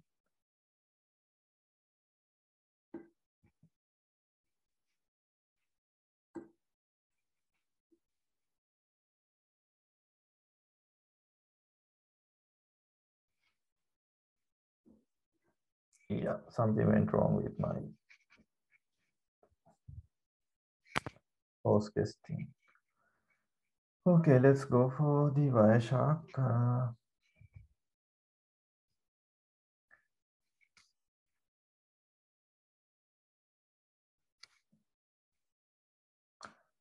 if if there's someone who who can show you a screen, uh, you can find the uh, uh, you can try your uh, OpenVAS against this IP. So this is the this is the uh, that particular testing server I used. Just put a OpenVAS on this IP and see what you can see. It's just an HTML website with high one and high two, like what we used like uh, last Tuesday. You can simply uh, try this and uh, see what are the outputs.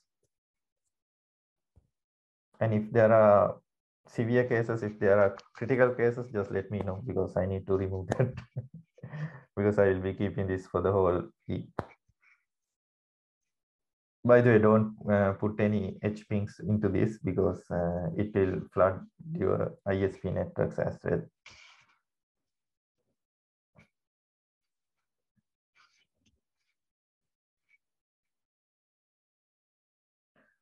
Okay, I'll uh, I'll go to the Wireshark tutorial. Uh,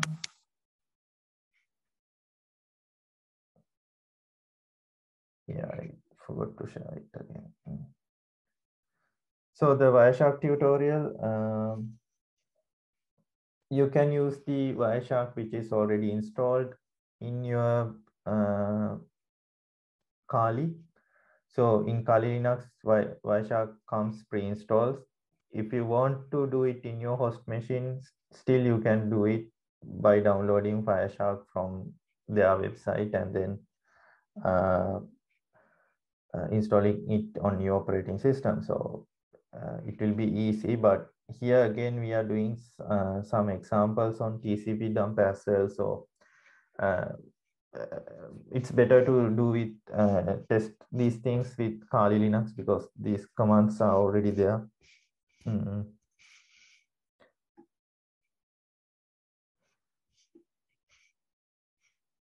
Hmm. Okay, so uh, before going into this, I forgot something to share earlier.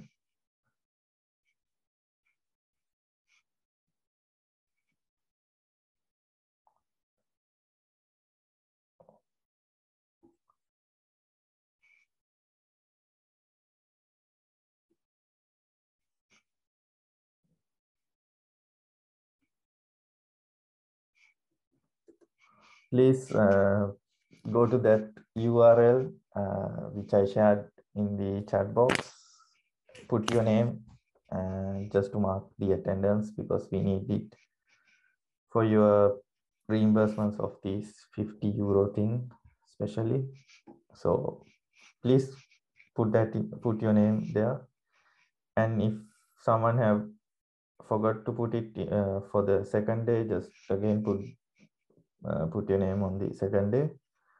Uh, the other thing, uh, if I forget to remind, uh, give you this link next day, just keep the link uh, saved because uh, next two days also we will be using the same link. So,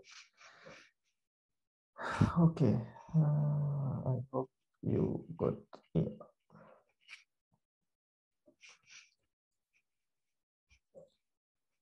All right, so uh, TCP dump is just to just a tool to uh, see what comes and goes out on your uh, network. So you can uh, do a dumping of whatever the packets or whatever the uh, things that comes in and out from your device. Uh, I'll this thing. Then if I go to if I go to my website again, uh, uh, this uh, server, if I enter TCP dump minus v, I can see, um, okay, it's not minus v, I think it's capital V.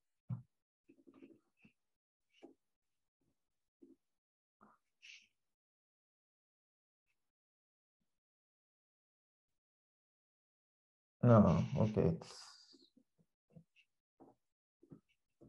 version. So this is the version that came with Ubuntu, but if this is not working in your, if the command uh, tcp dump is not working in your installation, just uh, apt get install tcp dump if it's Ubuntu. Uh, if it's any other Linux version, you can check their package managers for TCP dump because TCP, TCP dump is one of the common packages you should get with the operating system. Uh, if you just enter TCP dump, you will see a lot of stuff like this. So I'm killing the process. So this is the plain text uh, TCP dump result. Uh, yeah, I, I hope you can see the whole screen. Uh, so here you can see uh, TCP dump using uh, listening on this particular interface and so I'm doing an SSH. So this is the SSH traffic. You can see the SSH and then there's uh, this traffic. So this is domain DNS traffic. Uh, you can even see the uh, DNS request. So this is the PTR record. It's requesting the PTR for this particular IP. Uh, then SSH data. So here again, there are some PTR DNS stuff. Then there's there's a broadcast message, uh, ether ether uh, message from somewhere, and then uh, yeah, other things. Then some ICMP. Okay, so this is uh, so this this particular VM runs on a host. So uh, I have in the in the v, uh, VMware or VirtualBox uh, installation, there's something called promiscuous mode. So I have enabled that when installing the installing this VM. So because of that, in this interface, I can see every other traffic that comes to the uh, VM network. So here you can see someone trying to ping uh, some IP in the same network. Then there are a few ARP requests. So this is TCP dump. So this is just a unsorted list of uh, activities that is happening happened at that time of running this command. And then uh, since I uh, uh killed the process by control C, you can see at, at that time it received, by that time it received 54 packets. And uh, these are the other uh, details where it had a filter. And then dropped by kernel this much. Dropped by kernel means those packets are for different other devices. So all all all all together received 800 something and then dropped 700 something and the rest are for the uh, system. So that is just the uh, TCP dump and then you can simply use C TCP dump minus NN. Then you will see the uh, time and ooh, ooh. so once you put TCP dump minus NN, you will see the time and uh, the date. So here you can see and then you can see nice uh, lines like from where to where likewise and then the details of the packet. This is this is more clear than what we saw yes uh, earlier. So actually this is mostly the ssh traffic from 22 port to whatever the port that i am using for ssh Mm, yeah, there are a lot of SSH traffic. And then uh, if you want to see particular uh, traffic, let's say if you want to filter different attributes, you can use these kind of uh, examples. So in, in this first, first one, you can see I'm only, let's say your server have multiple interfaces. So in, in, the, in the first line, I'm saying you need to listen on this particular interface and then uh, whatever the traffic that relates to this particular IP. And then uh, the second one, again, ETH0, but now I am mentioning it should be destination uh, DST host should be this. So the first one, first line, it will show you all the traffic which mentions 10, 10, 10, 10, 10. Uh, but for the second one, it will only take uh, traffic that has 10, 10, 10, 10 as the destination. And now we are again restricting, we only need TCP, not everything. Then uh, the third one, now I'm saying a source network. Earlier it was the uh, destination host, but now a source network of that, and then TCP, and then I'm again defining a port range. So I'm further filtering. And then uh, what is this?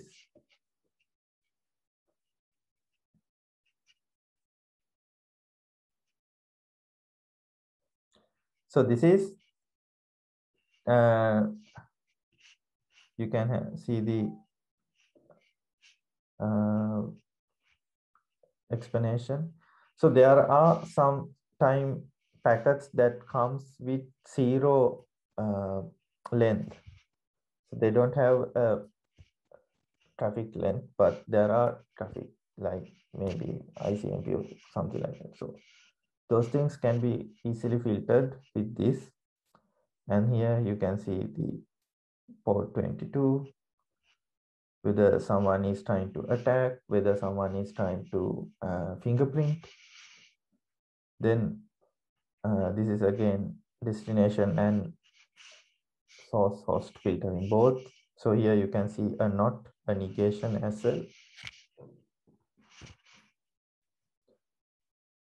And then uh, you can uh, save packets by using uh, minus W.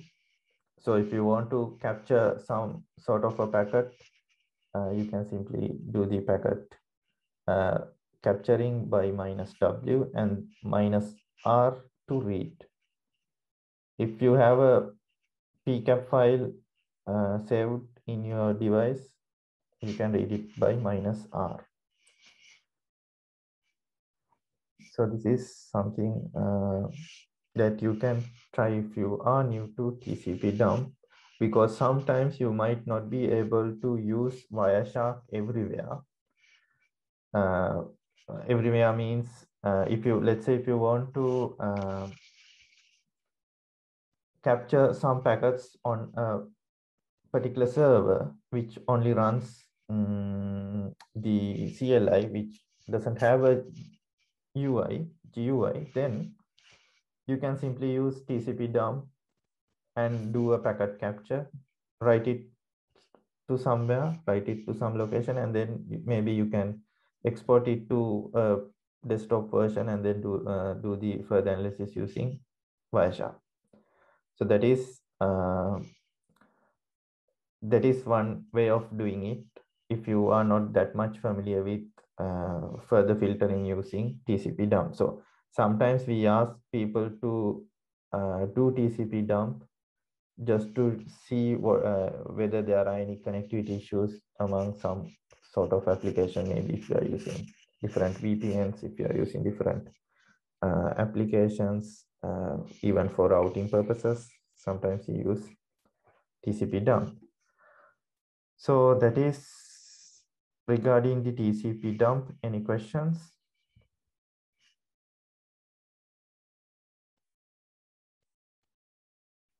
Okay, then um, you may already have used Wireshark. You may have already done different things with Wireshark. So this is something again uh, that we want to highlight. Why Wireshark? Uh, so someone can ask why Wireshark. So actually we need to have some sort of a packet analyzing software like TCP dump or Wireshark to analyze some uh, events which might occur during the day-to-day uh, security incidents. So uh, if we can't find things, if we if if we can't find what is happening, if we don't, if our IDS or if our firewall system doesn't identify these things, you need to do it manually. So doing it manually, uh, you need to have an idea on what is going on in your network, what is happening in your network. So to see that you need some sort of a software to uh, run the packet capture. So in Wireshark, you can do the live packet capturing as well as reading uh, the saved packet captures and doing the analysis later. So in this case, uh, you can simply start a packet capture on your given interface and then uh, save it and then later on filter it based on different filters. So in this case, I have given few filters. These are not the all filters that you can use. There are a lot of filters you can use. Use the Wireshark documentation as well as different examples from the internet. So in the in, in, in this tutorial, we are just showing you a few of them just to uh, filter a particular IP address, a particular service, uh, maybe a particular port number. But there are a lot of other things that you can do with Wireshark. You can, uh, let's say if you do a continuous packet capture for some time, you might even see uh, plain text passwords on the packet capture as well. So uh, for example, uh, few years back, yeah, not few years actually, 10, 15 years back, we did packet captures uh, on networks and we even could see some uh, chat histories with different clients. So uh, if you may remember things like uh, Yahoo Messenger or MSN Messenger, uh, earlier days they didn't use end-to-end -end encryption. So because of that, people in the middle were able to read all these messages. Even Facebook didn't have end-to-end -end encryption in the beginning. I'm, I'm uh, this is this is uh, something happened 10, 15 years back, but today most of the time they have the encryption, so you can't see the content of actual communication, but still you can find whether this is a uh, messaging content or something else. So earlier days we used to capture packets and uh, we were able to read some content in plain text. Even we, we were able to download images. There were some software that uh, did the mining for images as well. So for example, if you did the packet capture and then if you read that packet capture through a mining software, then it will give you all the images that were saved from that packet capture. So it's it was like just tapping into a net, uh, telephone conversation and reading the whole thing. Uh, so the same thing can be done with uh, today networks, but most of the time today networks, they have the encryption for the communication. But why we are doing this here is just to analyze, not to hack into someone, but to analyze what is happening in your network. So if someone is trying to do a bot attack, if someone is trying to do a, uh, let's say someone is doing an IRC channel communication or maybe uh, trying to uh, do some sort of, uh, let's say, uh,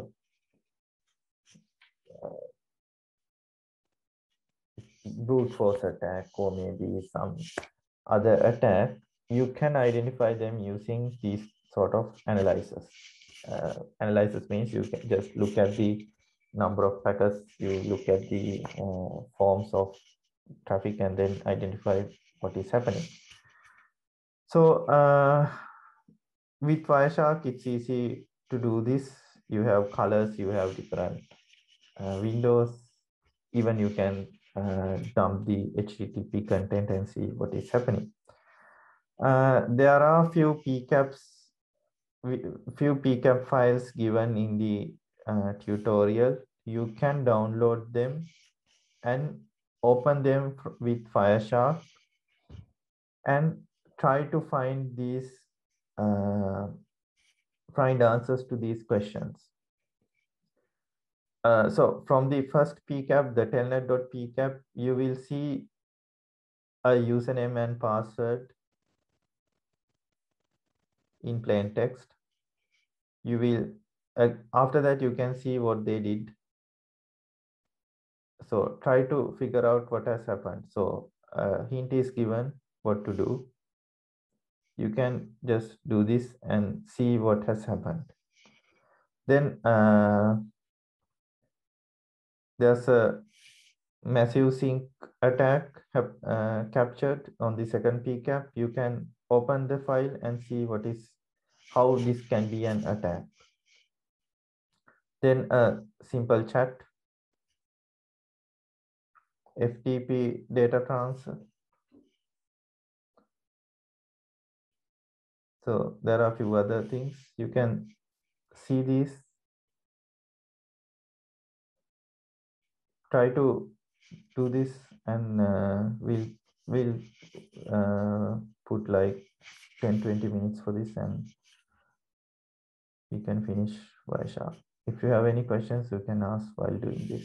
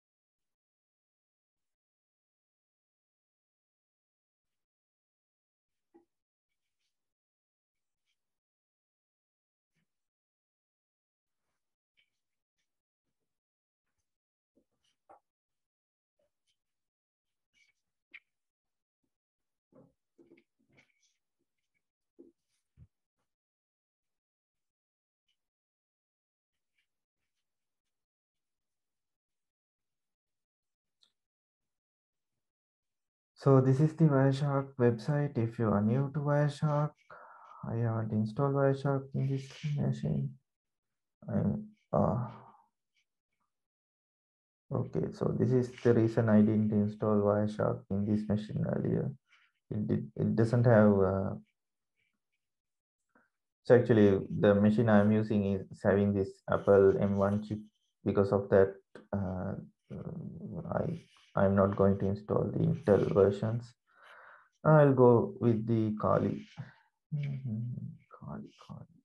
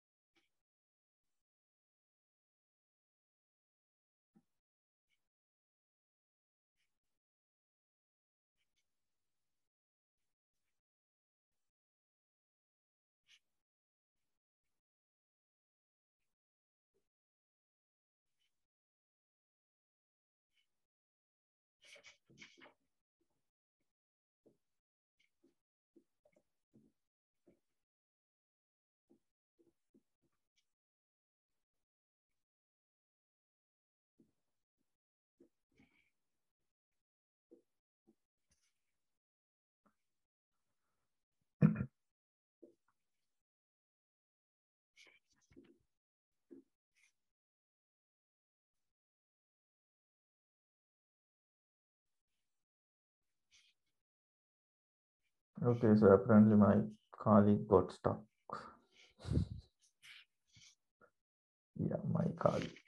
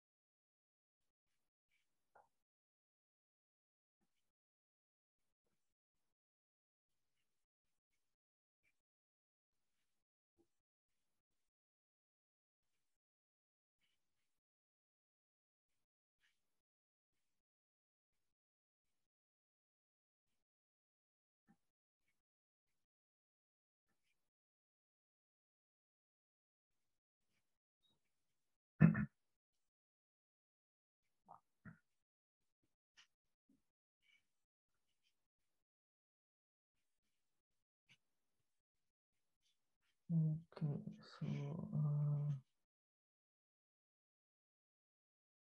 this is the pod installation.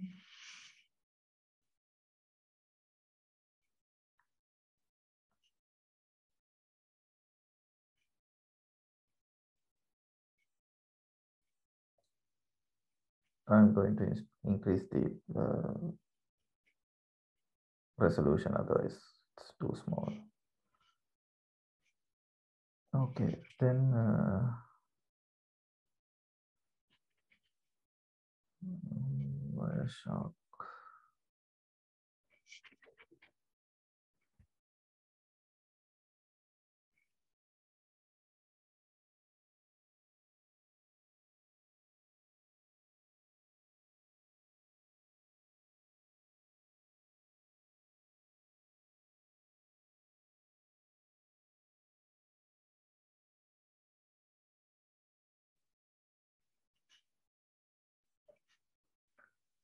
Okay, so the this thing.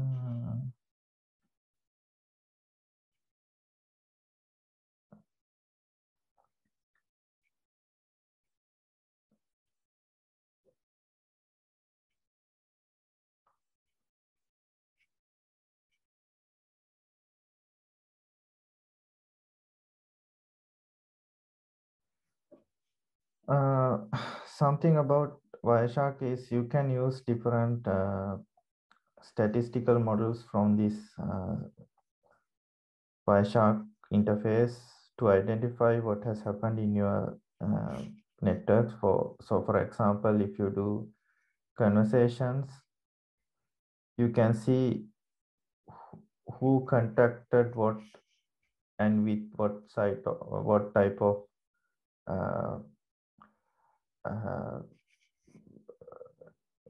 magnitude. So for example, uh, these two had these kind of traffic transferred during two seconds. So this is the actual ethernet part. if you look at the IPv4 part, this will be the IPv4 part. Again, uh, the bytes. So actually, this is I'm SSHing into the particular server. And then if you see IPv6, it will be the same. So uh, this particular Kali uh, device, it have IPv6 connectivity. So you will see IPv6 uh, traffic as well. And then TCP and UDP, whether there are UDP sessions and whether there are TCP sessions. So these are some TCP sessions. And I'm I'm not aware of this IP, so I can just check whether what this IP is. So it is connecting to 443, maybe some uh, background service. So that can be checked. So this is some simple idea on your network.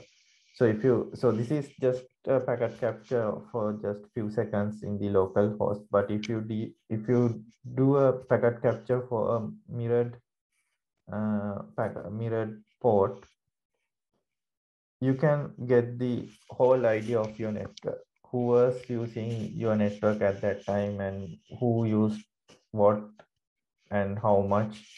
So those ideas can be taken from these conversations.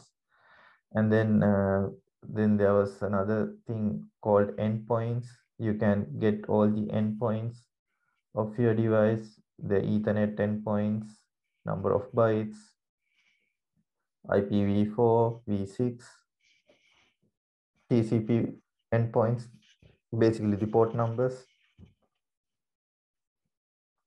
For example, let's say there's a huge, huge traffic for a particular web, a particular server. And if you want to identify what, what is happening, you can do a TCP dump and see uh, the num number of uh, packets that, that is received for each port number. So the easiest way is to get TCP dump from the uh, server and then analyze it using uh, uh, things like Wireshark. So we have seen a lot of uh, web servers, especially servers that that runs uh, Windows IIS, Windows web server. So this these type of servers mostly are prone to different attacks. So they will have a lot of issues. And even if you, let's say, if you open a Active Directory into the internet, then definitely you will, you are allowing yourself to be hacked. So uh, servers like that are extremely vulnerable to uh, attacks. So if something happen, you can easily find what, what is the port numbers that are being attacked or what are the port numbers that is used. Uh, again, if it's an upload from your server, if, if someone is using your server to do some attack against someone, then you will see it as an upload from your server. Then again, you can see what port numbers they are using. If you find the port number, then you can simply do a net uh, netstat or uh, htop or something and get the port number, uh, the process of the port, and then kill the process. So likewise, you can find easily uh, using these kind of applications. So this is this is the endpoints, and then there are different so this IO graphs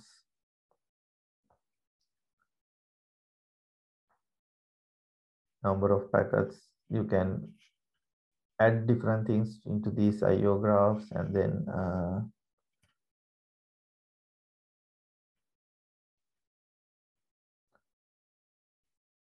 even with HTTP, HTTP2, I'm not sure there are, yeah, so there were no HTTP. So if there were HTTP2, you can see. If you go to the analysis part, uh, you can have different uh, filters. You can see the uh, display filters from here. What are the filters that you can use? Some of the examples. And then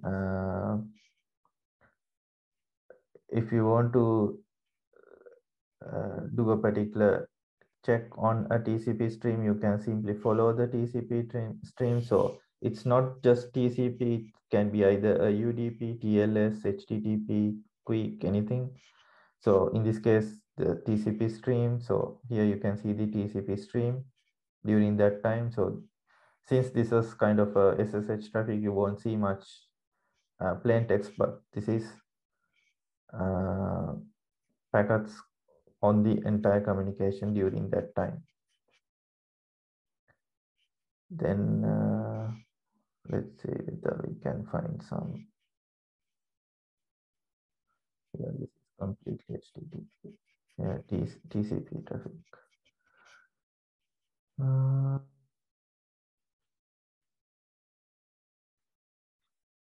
if you do this TLS version, you can uh, check the TLS stream as well.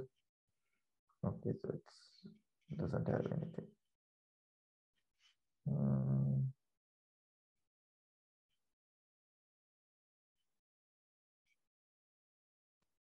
let's take this one.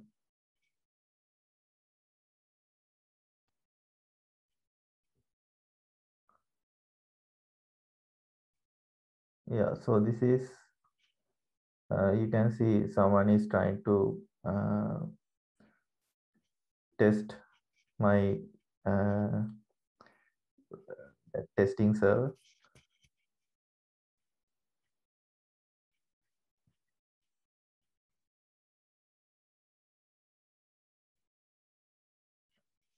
Yeah, so someone in Sri Lanka doing that. Uh, yeah, so likewise, you can identify these things from uh.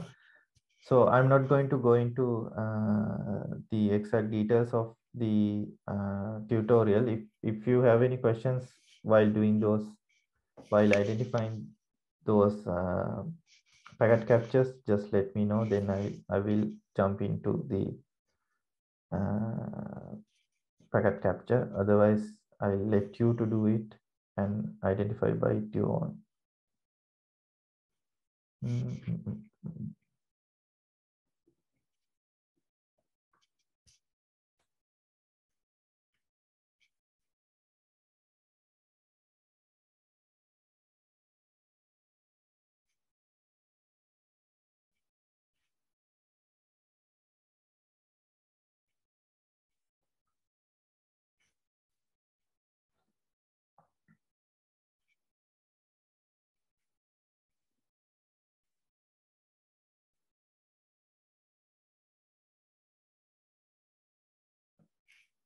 So download these and then uh,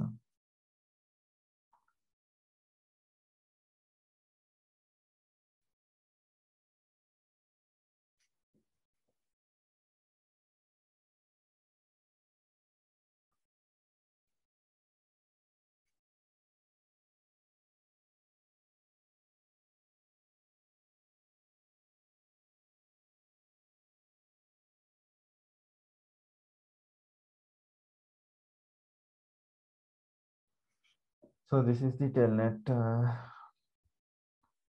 thing.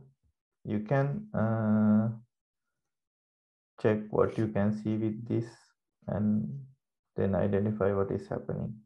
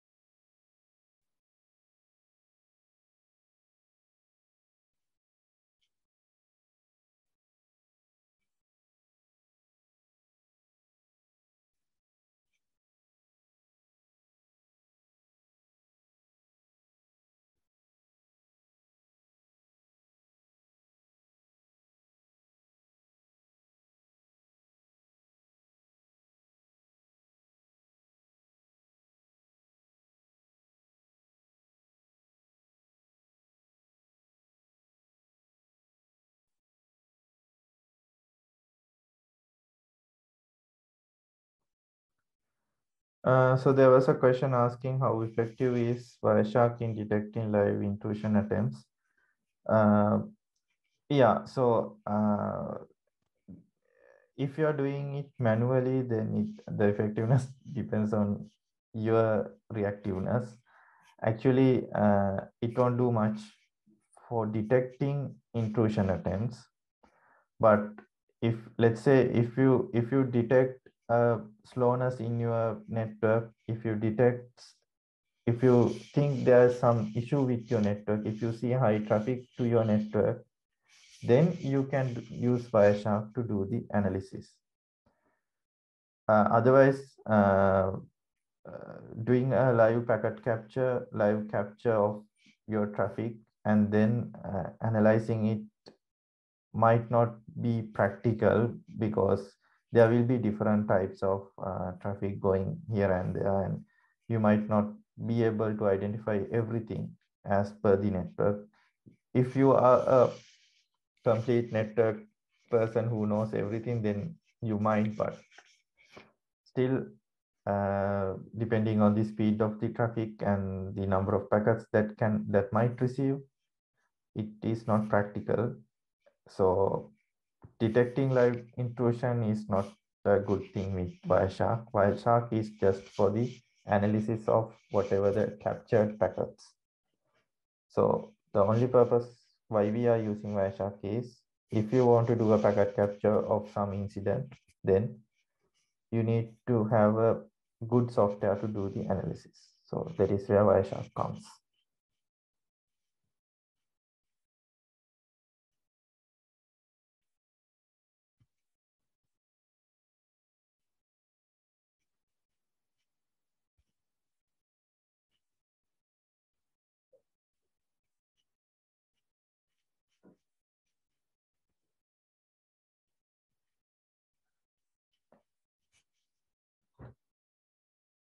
So for li live intrusion detection, definitely you need to have a IDS implemented uh, or at least use some sort of a network monitoring tool which provides some uh, intrusion detection facility.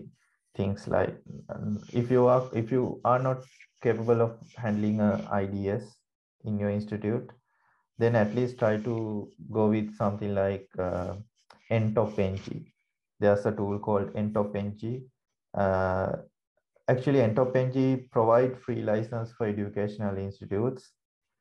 Uh, NREN can't get, NRENs can't get a license, the free license from NTOP-NG. Uh, uh, if, if you are, if, and it's NTOP-NG. So uh, I tried to uh, request NTOP-NG free license for Learn uh, sometimes back, and then they replied saying, since we are not an educational institute but an entity that providing services, we are not allowed to have the free license. But as if you are a part of an educational institute, if you are the admin, then you can simply request that, uh, request that, and then get a uh, free license. So if you want, then you can simply you just have to install the NTOP into uh, into a port mirror uh, soft uh, server. So a server with a port mirror, uh, mirror uh, mirrored port, and then from the mirror uh, you can identify different uh, incidents in your network. So NTOP is NTOP-NG is NTOP and NTOP-NG two things. I'm talking about NTOP-NG. Uh, will be a good uh, solution for uh, running uh, network monitoring. Uh, but still you need to install it in a bare metal device. Don't go with virtual machines. Also, you might need like 8 GB or more, even more than RAM uh, depending on your network capacity. So if you are, if you are uh, like, let's say if you want to monitor 100 M, then less than 8 GB would be fine. But if it's more than that, try to go with uh, at least 16 GB device because it, it will consume a lot of RAM. Uh, there's a question asking when you use port mirroring, would it not be too noisy? Actually, uh, if you don't use port mirroring, uh, you won't be able to see all the things in your network.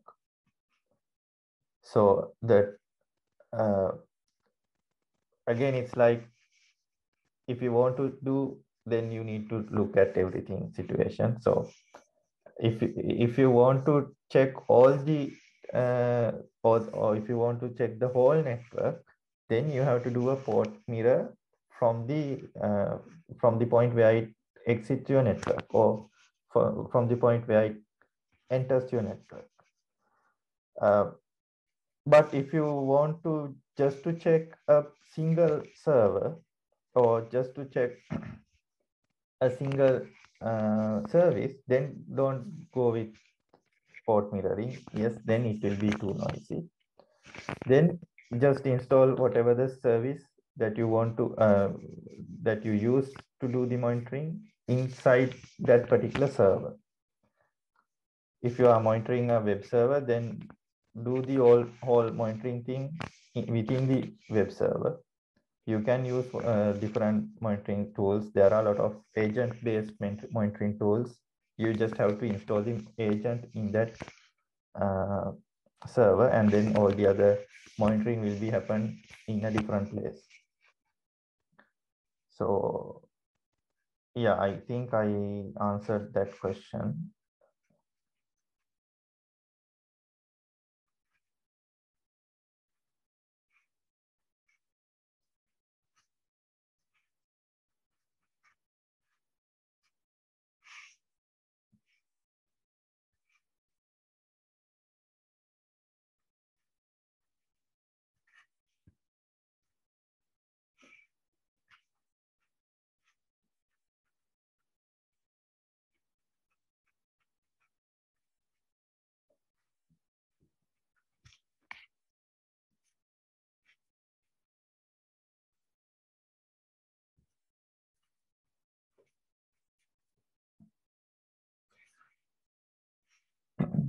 Okay, so uh, while you are doing uh, the lab, I will just quickly go through the other lab as well. So I can uh, explain it to you and then you can do it during the time. Mm.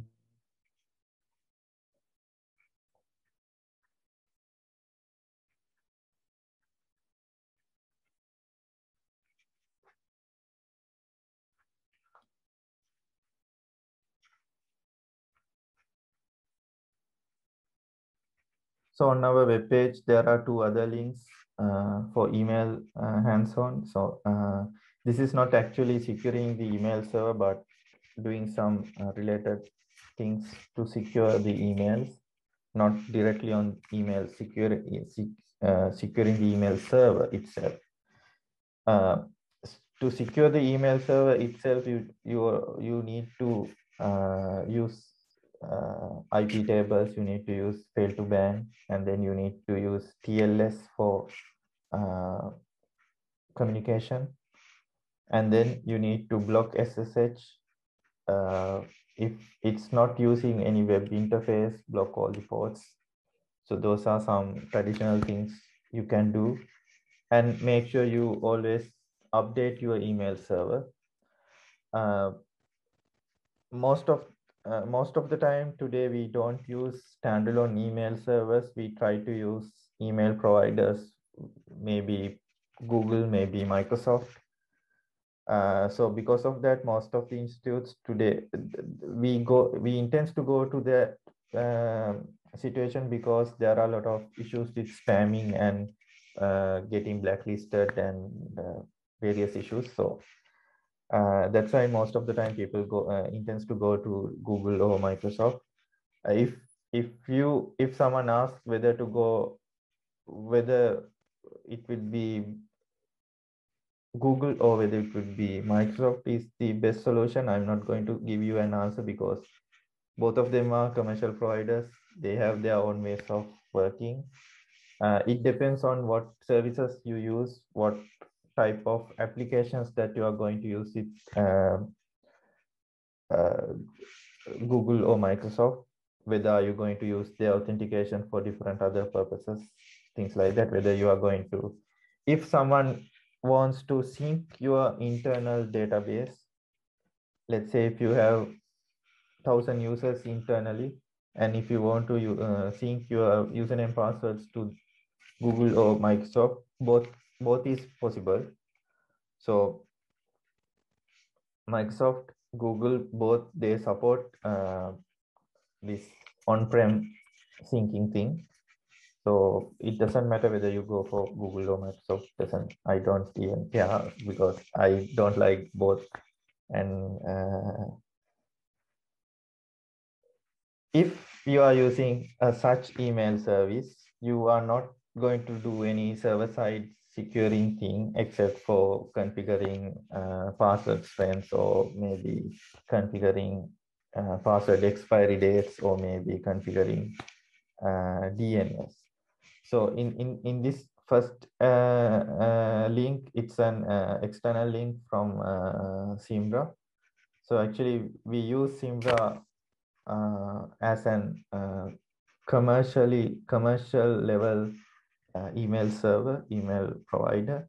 So if, if you want to do a commercial level email installation, go with Zimbra. They have all the good stuff. Uh, so this is some kind of a guideline by them. And it's uh, I'm giving you the direct link because they will keep this thing updated uh, when there are some changes. So you just have to go to the direct link and then see whether these are actually correct or not. So uh, when securing uh, email uh, servers, when secure, when if uh, securing means you need to uh, have the best practices in sending your emails, especially from the admin side. So these uh, best practices allows you uh, not to get blacklisted from the other services. So the main thing behind not getting blacklisted is your SPF, DKIM, and DMARC. So today, most of the time, uh, if you are configuring uh,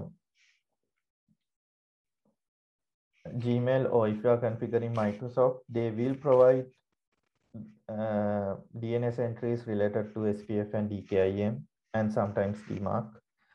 Uh, but you need to check whether they are acti actively working.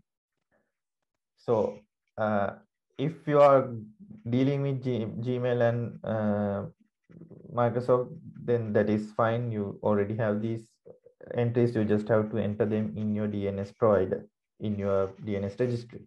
So if you are the most of the time uh, institutes, they maintain their own DNS uh, registries, or at least their research network, they maintain the uh DNS entry. I'm not sure about uh, your countries, but in case of Sri Lanka, uh, for Learn, we maintain our own DNS.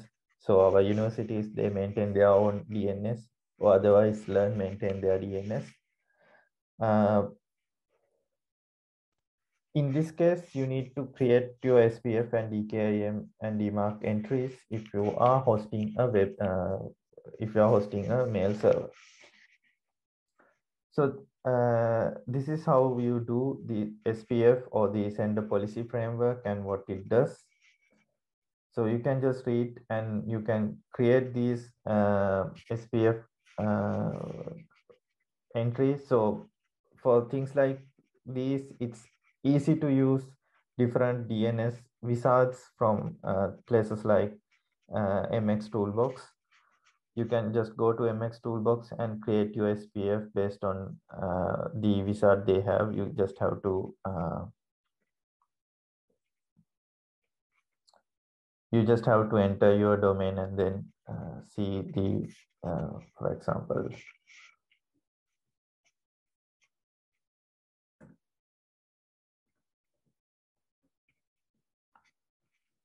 So there's a domain like this. And if I check the SPF records,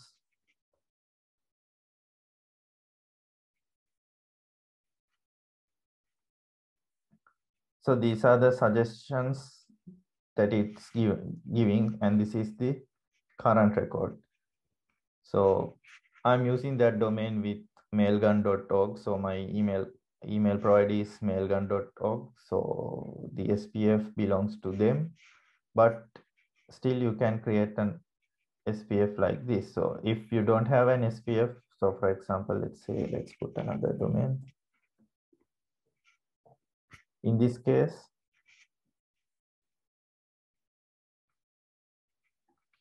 here you don't see any SPF current records because it doesn't have any current record. Then you can have the SPF like this. So it will be a text type DNS record with these values. Then, uh, uh, okay, so let's say,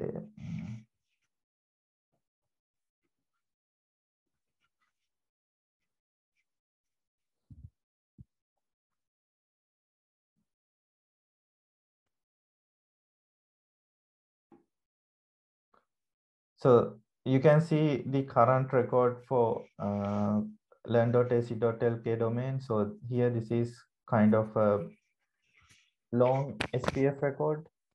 It have a lot of IP addresses that are allowed to send email uh, emails with this domain. So what SPF does is it it basically tells others what are the IP addresses that this uh, particular domain contains. So if you send an email uh, with the same email with the email domain of learn.ac.lk apart from any of these IP addresses, then the recipients will deny your email saying that email that email server is not listed under the SPF. So whatever the email servers we use for this domain, this particular domain should be included within this mentioned addresses. So you can see there are like slash 27 and then again another slash 27. Here there's a 26. Then uh, IPv6 range. So actually slash, 2 slash 64s. So actually we are using multiple subnets because we use the same domain for different uh, servers with, with different servers which are on these different subnets. That's why it's uh, it is there. So you can include these things in this wizard and then uh, they will include all the stuff uh, in your SPF record. Then you can just copy paste, copy these things into a text record uh, in your DNS server. Uh, so that is the SPF. Uh, you can read why we need this and what they are. And then DKIM. So DKIM means uh, we use uh, public key cryptography or private public key pairs to verify your authentic verify you who is the person who's sending. So uh, domain key identified mails is a method to associate domain names and the email allowing to a person or company assuming the responsibility of the email. So that is the main purpose of that. So even to create these things you can simply uh, use some of these commands given in the example if you are not already using DKIM. So these are some of the uh, commands related to Zimbra installations, but still you can associate it with your own installation. So it's basically giving the uh, uh, public key on, on a DNS value. So uh, how to do it, how to do that is given here. You just have to uh, create the public keys, private keys, and then include it in your DKIM. And then uh, the DMARC. So the DMARC stands for Domain-Based Message Authentication, Reporting, and Confirmation.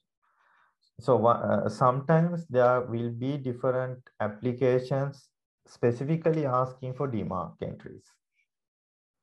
If you set up the DMARC entry, then uh, you can simply receive whatever the uh, errors that uh, get in your network. So there are different DMARC uh, assistants. You just you can use these DMARC uh, and then they, they will ask whether there are different policies, whether to reject emails, whether to quarantine or whether to do nothing. So it depends on you, uh, on your policies. Uh, how to test it. So here you can see the testing.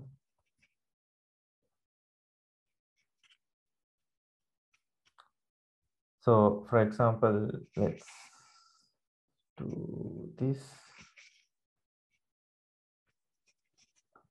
Anyway, I'm not administrating learn.ac.lk email, so I'm not responsible on what you see here.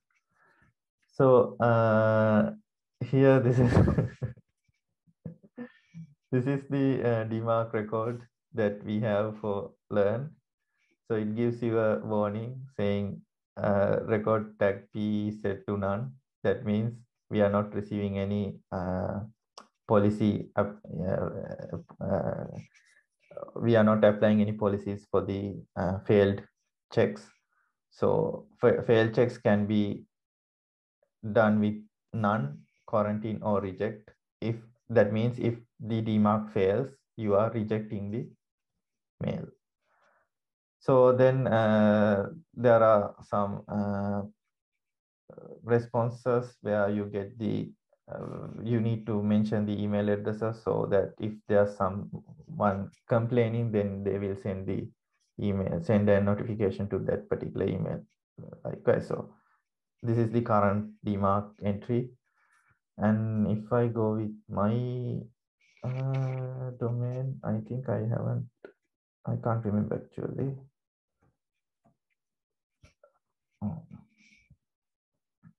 Yeah, there's no DMARC record. So since this is maintained by uh, mailgun uh, I'm not going to create DMARC because it's maintained by them. It's the mail service maintained by them, not me.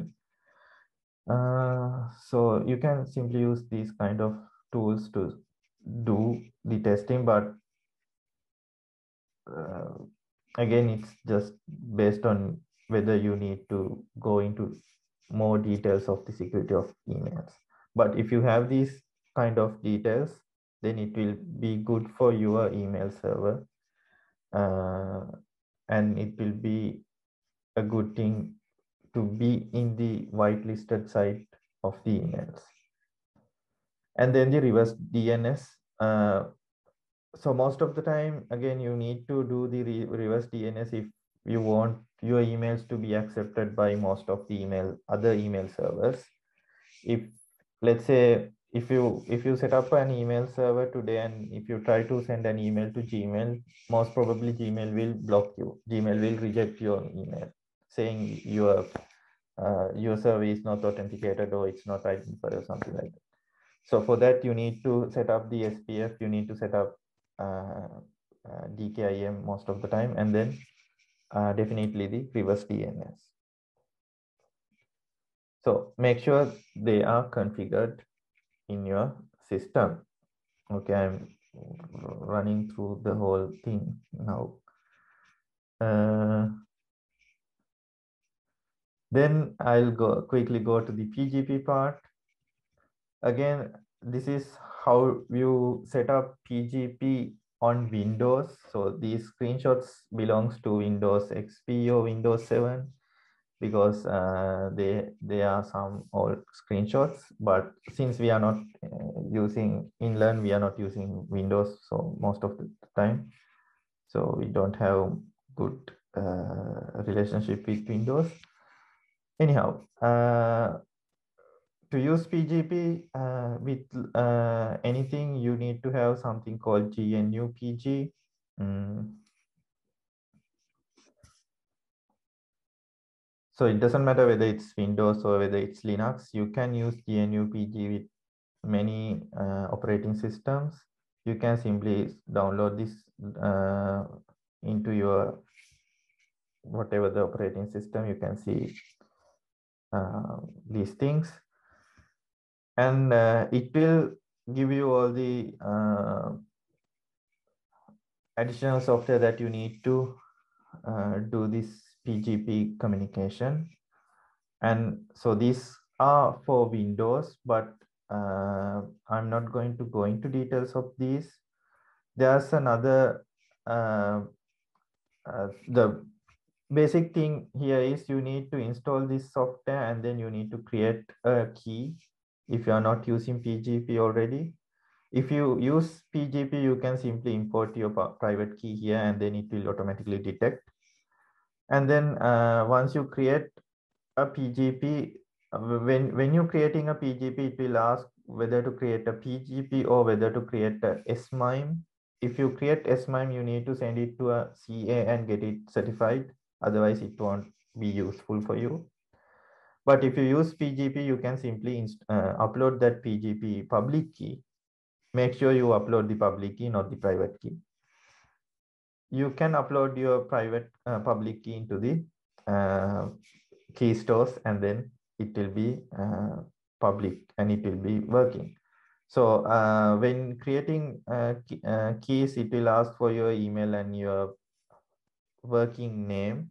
So make sure you enter your email correctly as well as your name as per your email client. If you are using from, let's say for me, I'm using Tilina Patran as my email display name. Then don't use something else as your name in this uh, point because uh, when someone is comparing your name and email, they will look for your name on your email header, not, not the one we are mentioned here.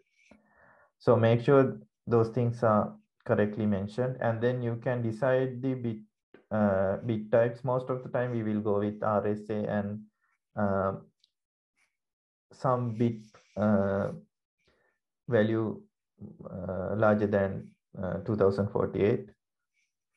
So uh, currently, most of the applications, they go for 3000 something, 3078, 72 but it depends but don't go for 1024 because 1024 is breakable at the moment so go for something more than 3000 and then you can use this for signing and encryption both. Again if you want for authentication you can use it for authentication but most of the time people don't use authentication again you can define uh, expiry date uh, for this. So uh, it depends on how you going to use this key. If if it is for email if if you are on a, a permanent situation at your job, if you are going to use that email address, email identity for a longer period, then use this uh, uh, expiry date at least 10 years ahead. Or you can simply uh, remove this tick, then it will be valid forever. So for me, I'm using a key that is valid forever. I'm not expired. I'm not mentioning an expiry date. Once this, once the key is created, it will give you the uh, public key and the private key pairs. You can send, you can download these uh, keys into your machine and go to a open PGP key server and then upload your private uh, public key into that server. It's free. You just have to copy paste that and then it will automatically upload. That's how it works. Okay, so this is some uh, other details and I want to mention something about uh, envelope dot uh, mail and mailvelope.com which is uh, open source uh, actually it's a free service for you. Uh, so if you go to this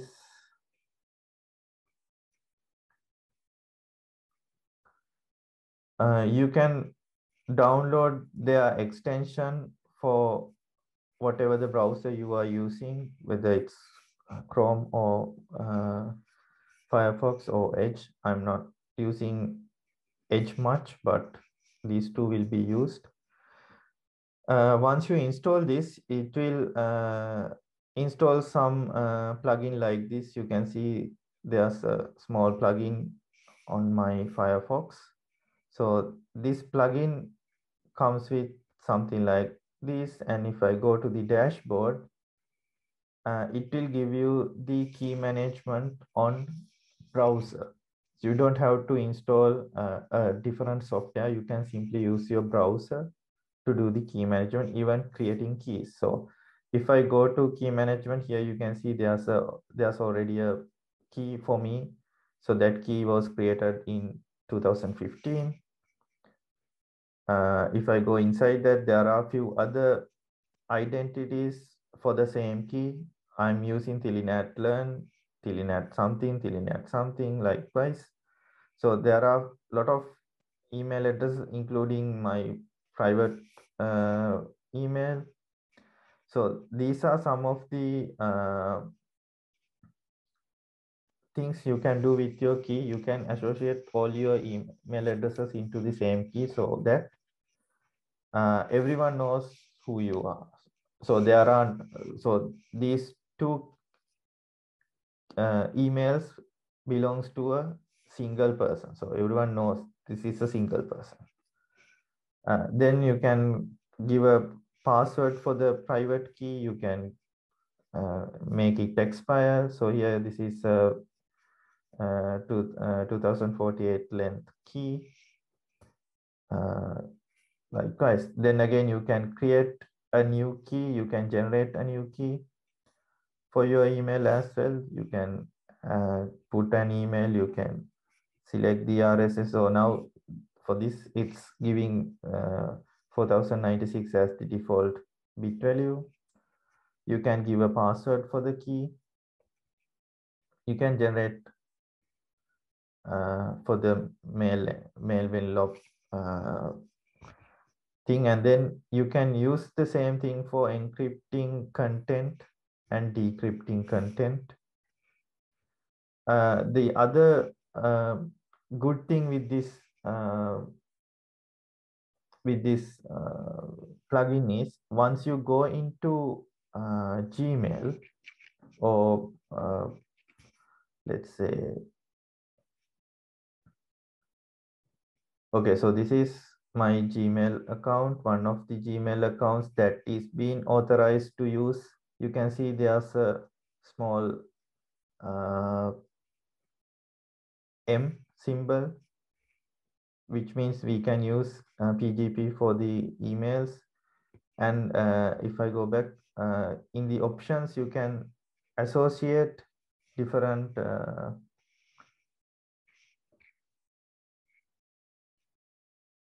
and Gmail accounts. Here you can see I'm using this Gmail account uh, for the authorization. So in this case, uh, you can see two uh, okay it's already uh, uh, changed. So uh, i'll just show you a sample email from the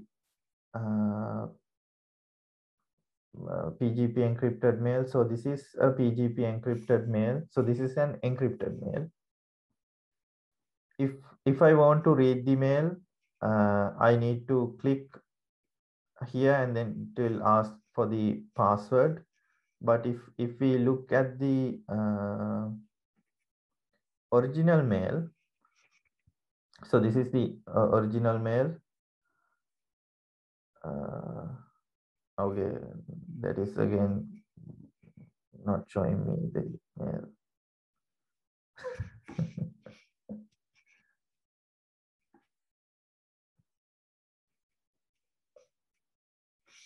you can download this and read it in text mode.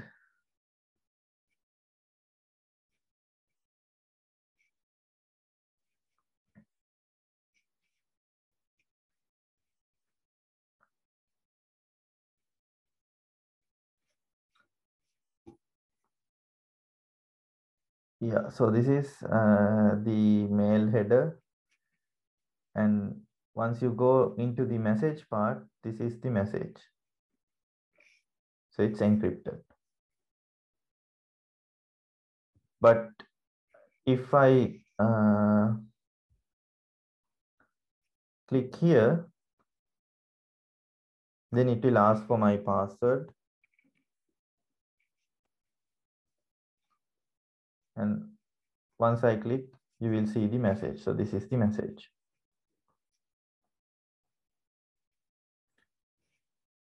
Uh, but that is encrypted mail. But if if if you want to send an email, uh, for example, uh, let's send an email. So I'm going to send an email signed uh, for my, uh, okay, let's send it to my uh, Gmail.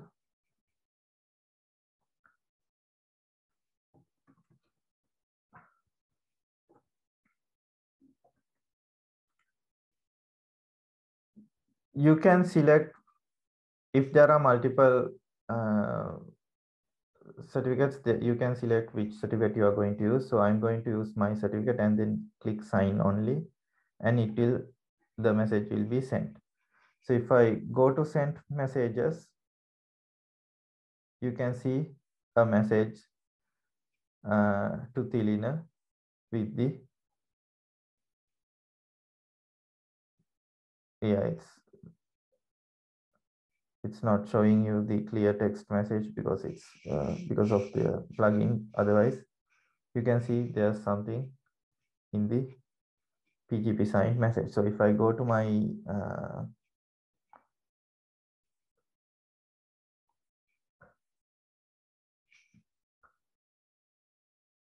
here you will see the message and here you can see open pgp on thunderbird saying uh, yeah uncertain digital signature. Why?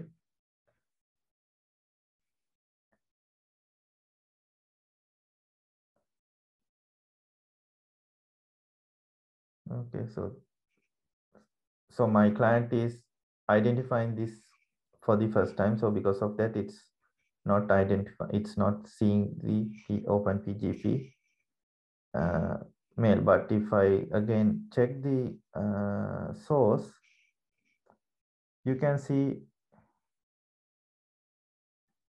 now this is the message test mail. It's in plain text but you can see there's a another part additional part as the signature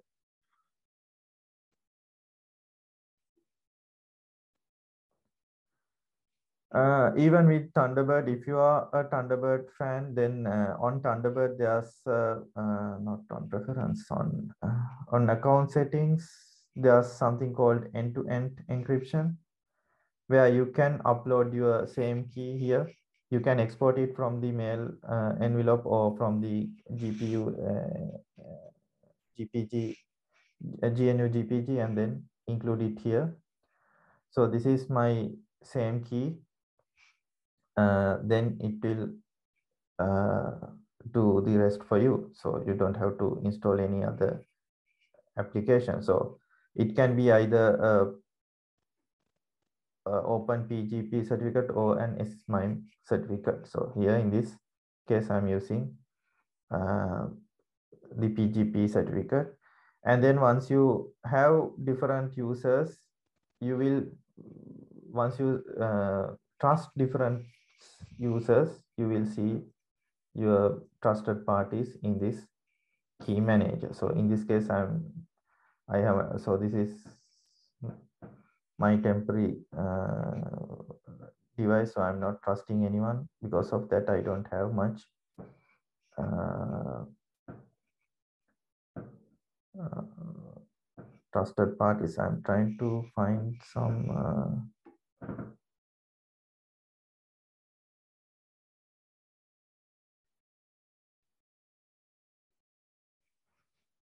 Okay, I don't think I can find any. yeah. Anyway mm, so that is about openpgp. Any questions? I rushed a lot. I hope most of you got what i was trying to tell about uh,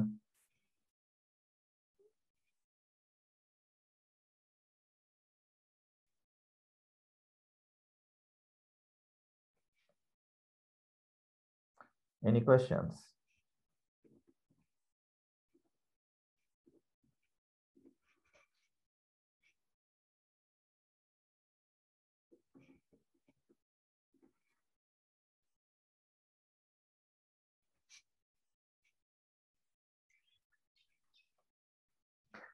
Okay, there was a missed question from Pema about SIEMs.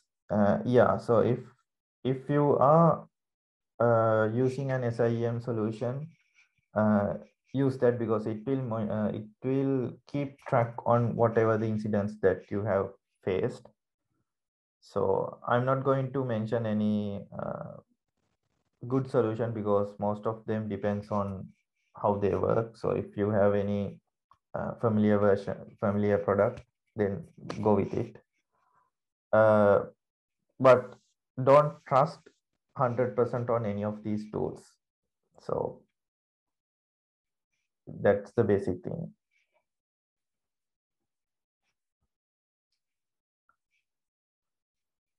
Okay, any questions? Any other questions?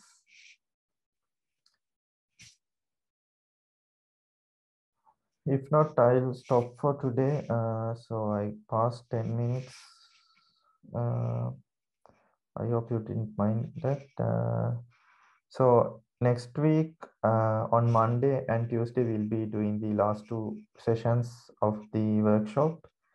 And uh, that uh, at that time, we'll be discussing on uh, some monitoring and performance stuff, especially with uh, NetFlows and P, perfSONAR. So if if you are familiar with these things, then it will be much more easy for me, and especially with uh, things like perfSONAR. I will send you uh, links if we need to download anything that uh, uh, the thing like what we did for Kali. If if if we need to uh, download something uh, large, then I will send you the links. Uh, I was thinking whether to go for perfSONAR installation, but let's see what we can do.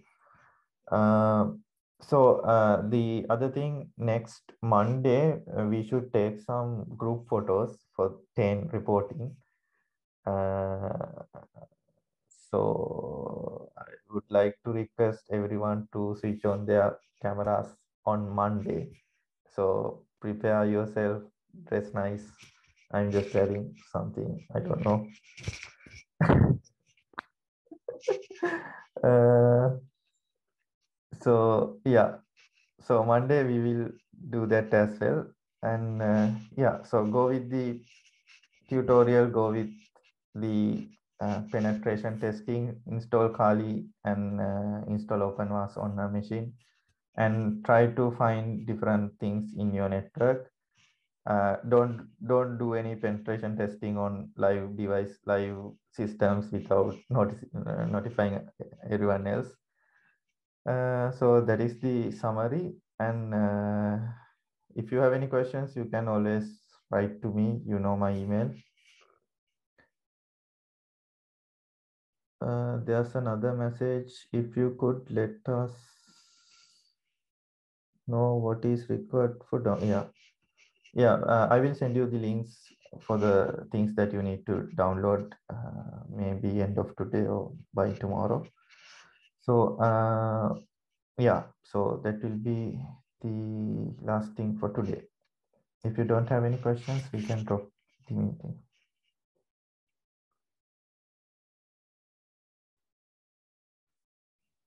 Okay, then see you everyone. Happy weekend and stay safe.